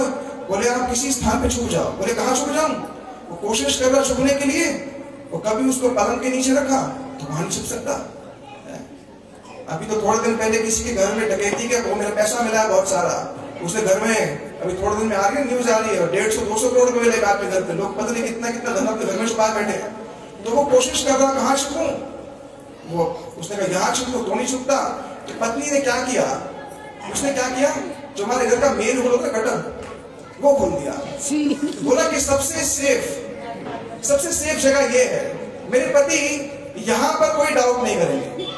यहाँ पर संशय नहीं हो सकता पंडित को कहा डाल दिया उस गटर में। बोले जो ही वो जाएँगे मैं आपको बाहर निकाल दूँगी। ठीक है जो जो जो उसका पति था वैसे तो सामान्यतः वो एक घंटा घर पे बिताता था लेकिन उस दिन वो दो घंटे चार घंटे पाँच घंटे बैठा था। इतने में ये भी भूल गई कि मैंने किसी को कहा डाल रखा है? गटर में। डाल रखा है। और चार पाँच घंटे बाद पति गया इसको याद आया हो मैंने कहा डाल दिया इसको? जो ही खोला वो पंडित जू ही बाहर निकले, वो बोले हो बोले, आइए आइए, मैं आपको प्रसाद दूँगा. बोले, प्रसाद? बोले, मैं तेरे गाँव से नहीं जाऊँगा। तूने जो मेरी दुर्गति की है, मैं तेरे गाँव तेरे स्टेट मैं तेरे राज्य से भी नहीं जाऊँगा, तूने मेरी ऐसी हालत कर दी है. पंडित जी तीन चार घंटे का गटर नहीं बर्दाश्त कर पाए। हम लोग नौ महीने का गटर बर्दाश्त करते हैं। उन नौ महीने के गटर को हम बर्दाश्त करते हैं। प्रार्थना करते हैं भगवान से। मैं सुखदेव गोस्वामी पाद ने गर्भ के गर्भ में क्या क्या होता है वो बताया है। जो वैज्ञानिक है ना, हमारे यहाँ पर किसी भी जो भ्रूण होता है, उसके बारे में जानना, जो भ्रूण की जाँच होती है, वो इस समय निषेध है, आप ये जान नहीं सकते कि वो, उसका लिंग क्या है। वो बालक है या बालिका है। लेकिन विज्ञान की दृष्टिकोण से अगर आप भागवत पढ़ेंगे, सब चीज़ पहले से बता दी गई। पहले दिन जब जीव माता के गर्भ में आता है तो उस समय उसका आकार होता है बिल्कुल इतना सा। बेग देखा ना आपने? बिल्कुल बेग की तरह आकार होता है। एक महीने के अंदर उसका शरीर जो है बढ़ता है और दूसरे महीने में क्या होता है? नख लोम अस्थि, चरमाणी, लिंग छिद उद्रव। नख दूसरे महीने में क्या आ जाते हैं? नख देख रहे हैं आप? ये ये आ जाते हैं। रोम जो हमारे शरीर के बाल होते हैं थोड़े थोड़े आना शुरू होते हैं। अस्थि, चर्म, ये सब बनता है। और उस समय उसकी त्वचा इतनी कोमल होती है कि अगर उसके ऊपर आपने कोई भी पदार्थ फेंका तो उस समय तड़कता है वो अंदर। बाहर कोई व्यक्ति तड़पे तो उसकी आवाज़ सुनी जा सकती है। अब गर्भ में कोई हो तो कोई आवाज़ सुनी नहीं जा सकती।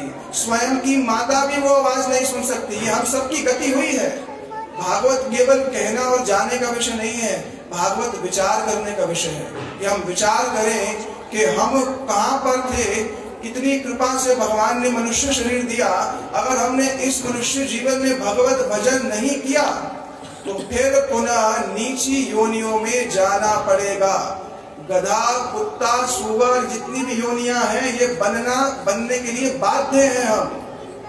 केवल और केवल जगाने के लिए ही, केवल और केवल हमारी सोई हुई चेतना को जगाने के लिए ही भागवत जी कही जाती है। तो दूसरे महीने में नख आ जाता है, लोम, अस्थि, चरमाणी, लिंग भी पता चल जाता है चित्र उद्धव, ये सब चीज़ें आ जाती हैं। और सातवें महीने में जब जीव को चेतना होती है ना, तब हमारे सुखदेव गोस्वामी पाद ने बड़ी सुंदर बात कही।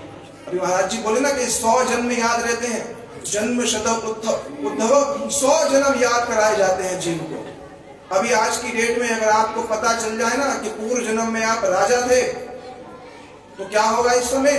जो खा पी रहे हैं वो भी छोड़ देंगे। लोग कहते हैं, आप में पूर्व जन्म बता दो। अरे तुम्हें पूर्व जन्म पता चल जाए, जो खा पी रहे हो, उसी उसी समय बेहोश जाओगे कि हमारी ये क्या परिस्थिति है। लेकिन जन्म गर्भ में वो सौ जन्म दिखाए जाते हैं। उन सौ जन्मों को देख करके जीव क्या करता है? दीर्घ उच्छ्वास शर्मम किमिना अनुविंदते वो दीर्घ श्वास लेता है कि ओ ये मैं कहाँ पड़ा हूँ? इतना भीषण कष्ट होता है, सुखदेव जी कहते हैं स जंतु जंतु संभव। जिस पेट माता के गर्भ से जीव का जन्म होता है, उसी ही गर्भ में इतने कीड़े होते हैं जो उसको खाते हैं। उसका हाथ नहीं हिल रहा होता। वो धनुष के आकार का उल्टा होता है। बालक देखिए, जब बाहर निकलता है, बालक का आकार कैसा होता है? बिल्कुल धनुष की भांति टेढ़ा होता है वह। और उस समय वो सातवें महीने में भगवान से प्रार्थना करता है। तस्या उपसतम सोहम ब्रजा विचरण अभयम में। ना असत रूपा प्रभु, आप मेरे को इस गर्भ से बाहर निकालिए। आप तो बहुत प्रकार के अवतार लेते हैं। अवतार लेकर के अच्छा भगवान अवतार लेते ही क्यों है? राम जी ने अवतार लिए नहीं लिया होता तो क्या रामायण होती? रामायण नहीं होती।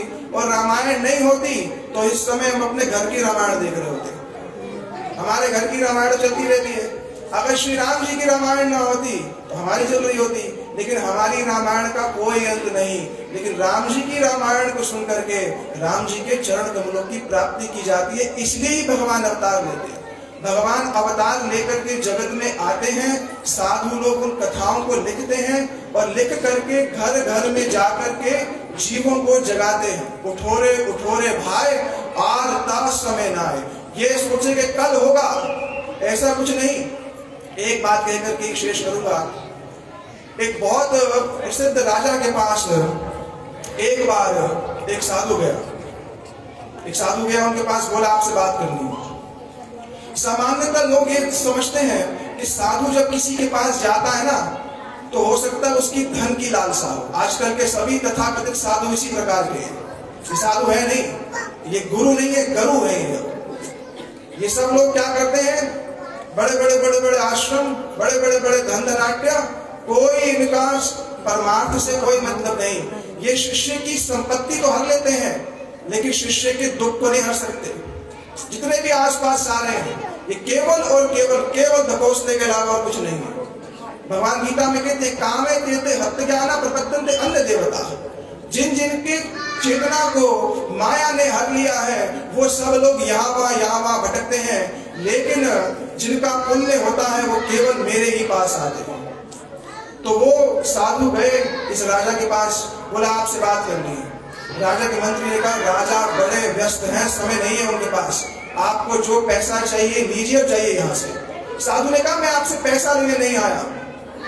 मुझे धन की ज़रूरत नहीं है, मुझे केवल और केवल एक चीज़ चाहिए आपसे। थोड़ी देर के लिए आप अपने कानों को मेरे को दे दीजिए।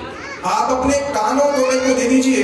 इन कानों के माध्यम से मैं आपको एक बात सुनाना चाहता हूँ।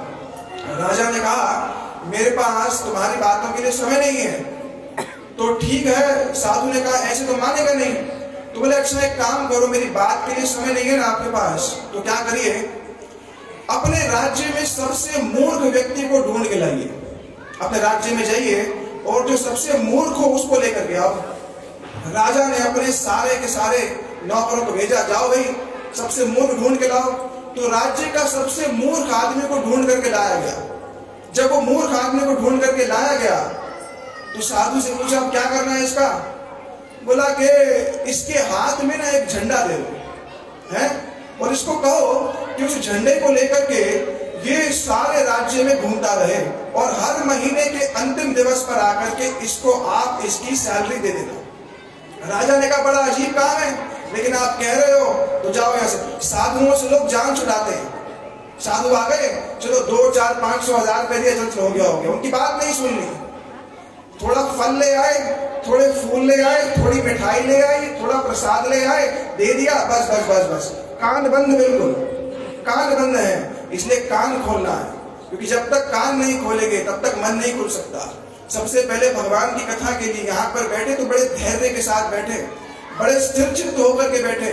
मन को एकाग्र करने की कोशिश करें, क्योंकि क्या पता व्यास पीठ से कही गई कौन सी बात हमारे जीवन की दिशा और दशा दोनों को बदल दे।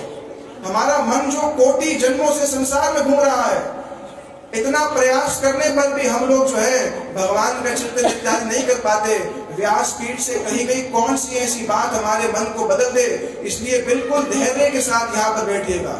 क्योंकि ये स्वयं के क्योंकि श्रीमद भागवतम स्वयं जो है कृष्ण है, और कृष्ण के मुख से ही व्यास पीठ से आचार्य गण जो है अपनी कथा का विस्तार करते हैं। तो वो जो मूर्ख आदमी था, रोज सुबह उठता, हाथ में झंडा लेता, एक गाँव में जाता, दूसरे गाँव में जाता, सारा दिन घूमता रहता महीने के अंत में आकर के राजा उसको उसका वेतन, उसकी सैलरी दे देता। ठीक है? ऐसे करते करते करते बहुत वर्ष बीत गए। दस, बीस, तीस साल बीत गए। राजा का अंतिम समय आया। राजा ने सबको बुलाया। रानियों को बुलाया, पटरानियों को बुलाया, मंत्रियों को बुलाया। सबसे बात करने लगा। सबसे कहने लगा, अब तो मैं जाने वाला हूँ। जैसे हम लोग जाने वाले होते ना तो हम क्या करते हैं? अब मेरे पोते को दिखा दो। मेरे पोते के पोते को दिखा दो। अरे अंतिम समय जा रहे हो तो ठाकुर को नाम ले लो। हमारे वृंदावन की घटना है। एक माता शरीर छोड़ रही थी। तो उनके निकट हमारे गुरु महाराज ने पूछा कि क्या चाहिए, क्या इच्छा है अंतिम? उसने कहा, बाबा मुझे मथुरा का पेड़ा खवा दे। बताओ, बोलो अब तू मरते मरते मथुरा का पेड़ा खाना चाहती है। अब मथुरा का पेड़ा खाने के लिए तो जीभ पर स्वाद होना चाहिए। अब ये जीभ पर स्वाद आएगा किसका? पेड़े का मरते समय तेरी चिंतन कहा होगी? अंत काले चमा में स्मरण मुक्ता कलेवरम यह प्रयाति समर्थ भावम याति न चैत्र संशय कि जिस जिस चीज़ को मरते हुए सोचोगे, वहाँ अपने आप पहुँच जाओगे। अब तू मथुरा का पेड़ा खाते हुए सोचेगी, अगला जन्म क्या हुआ तेरा सोच? क्या गति होगी इस समय शरीर छूट जाए। रविंद्रनाथ टैगोर का नाम आपने सुना होगा। सुभाष चंद्र बोस का नाम तो सुना सबने? सुभाष चंद्र बोस हमारे गुरु जी के गुरुदेव के पास आए थे।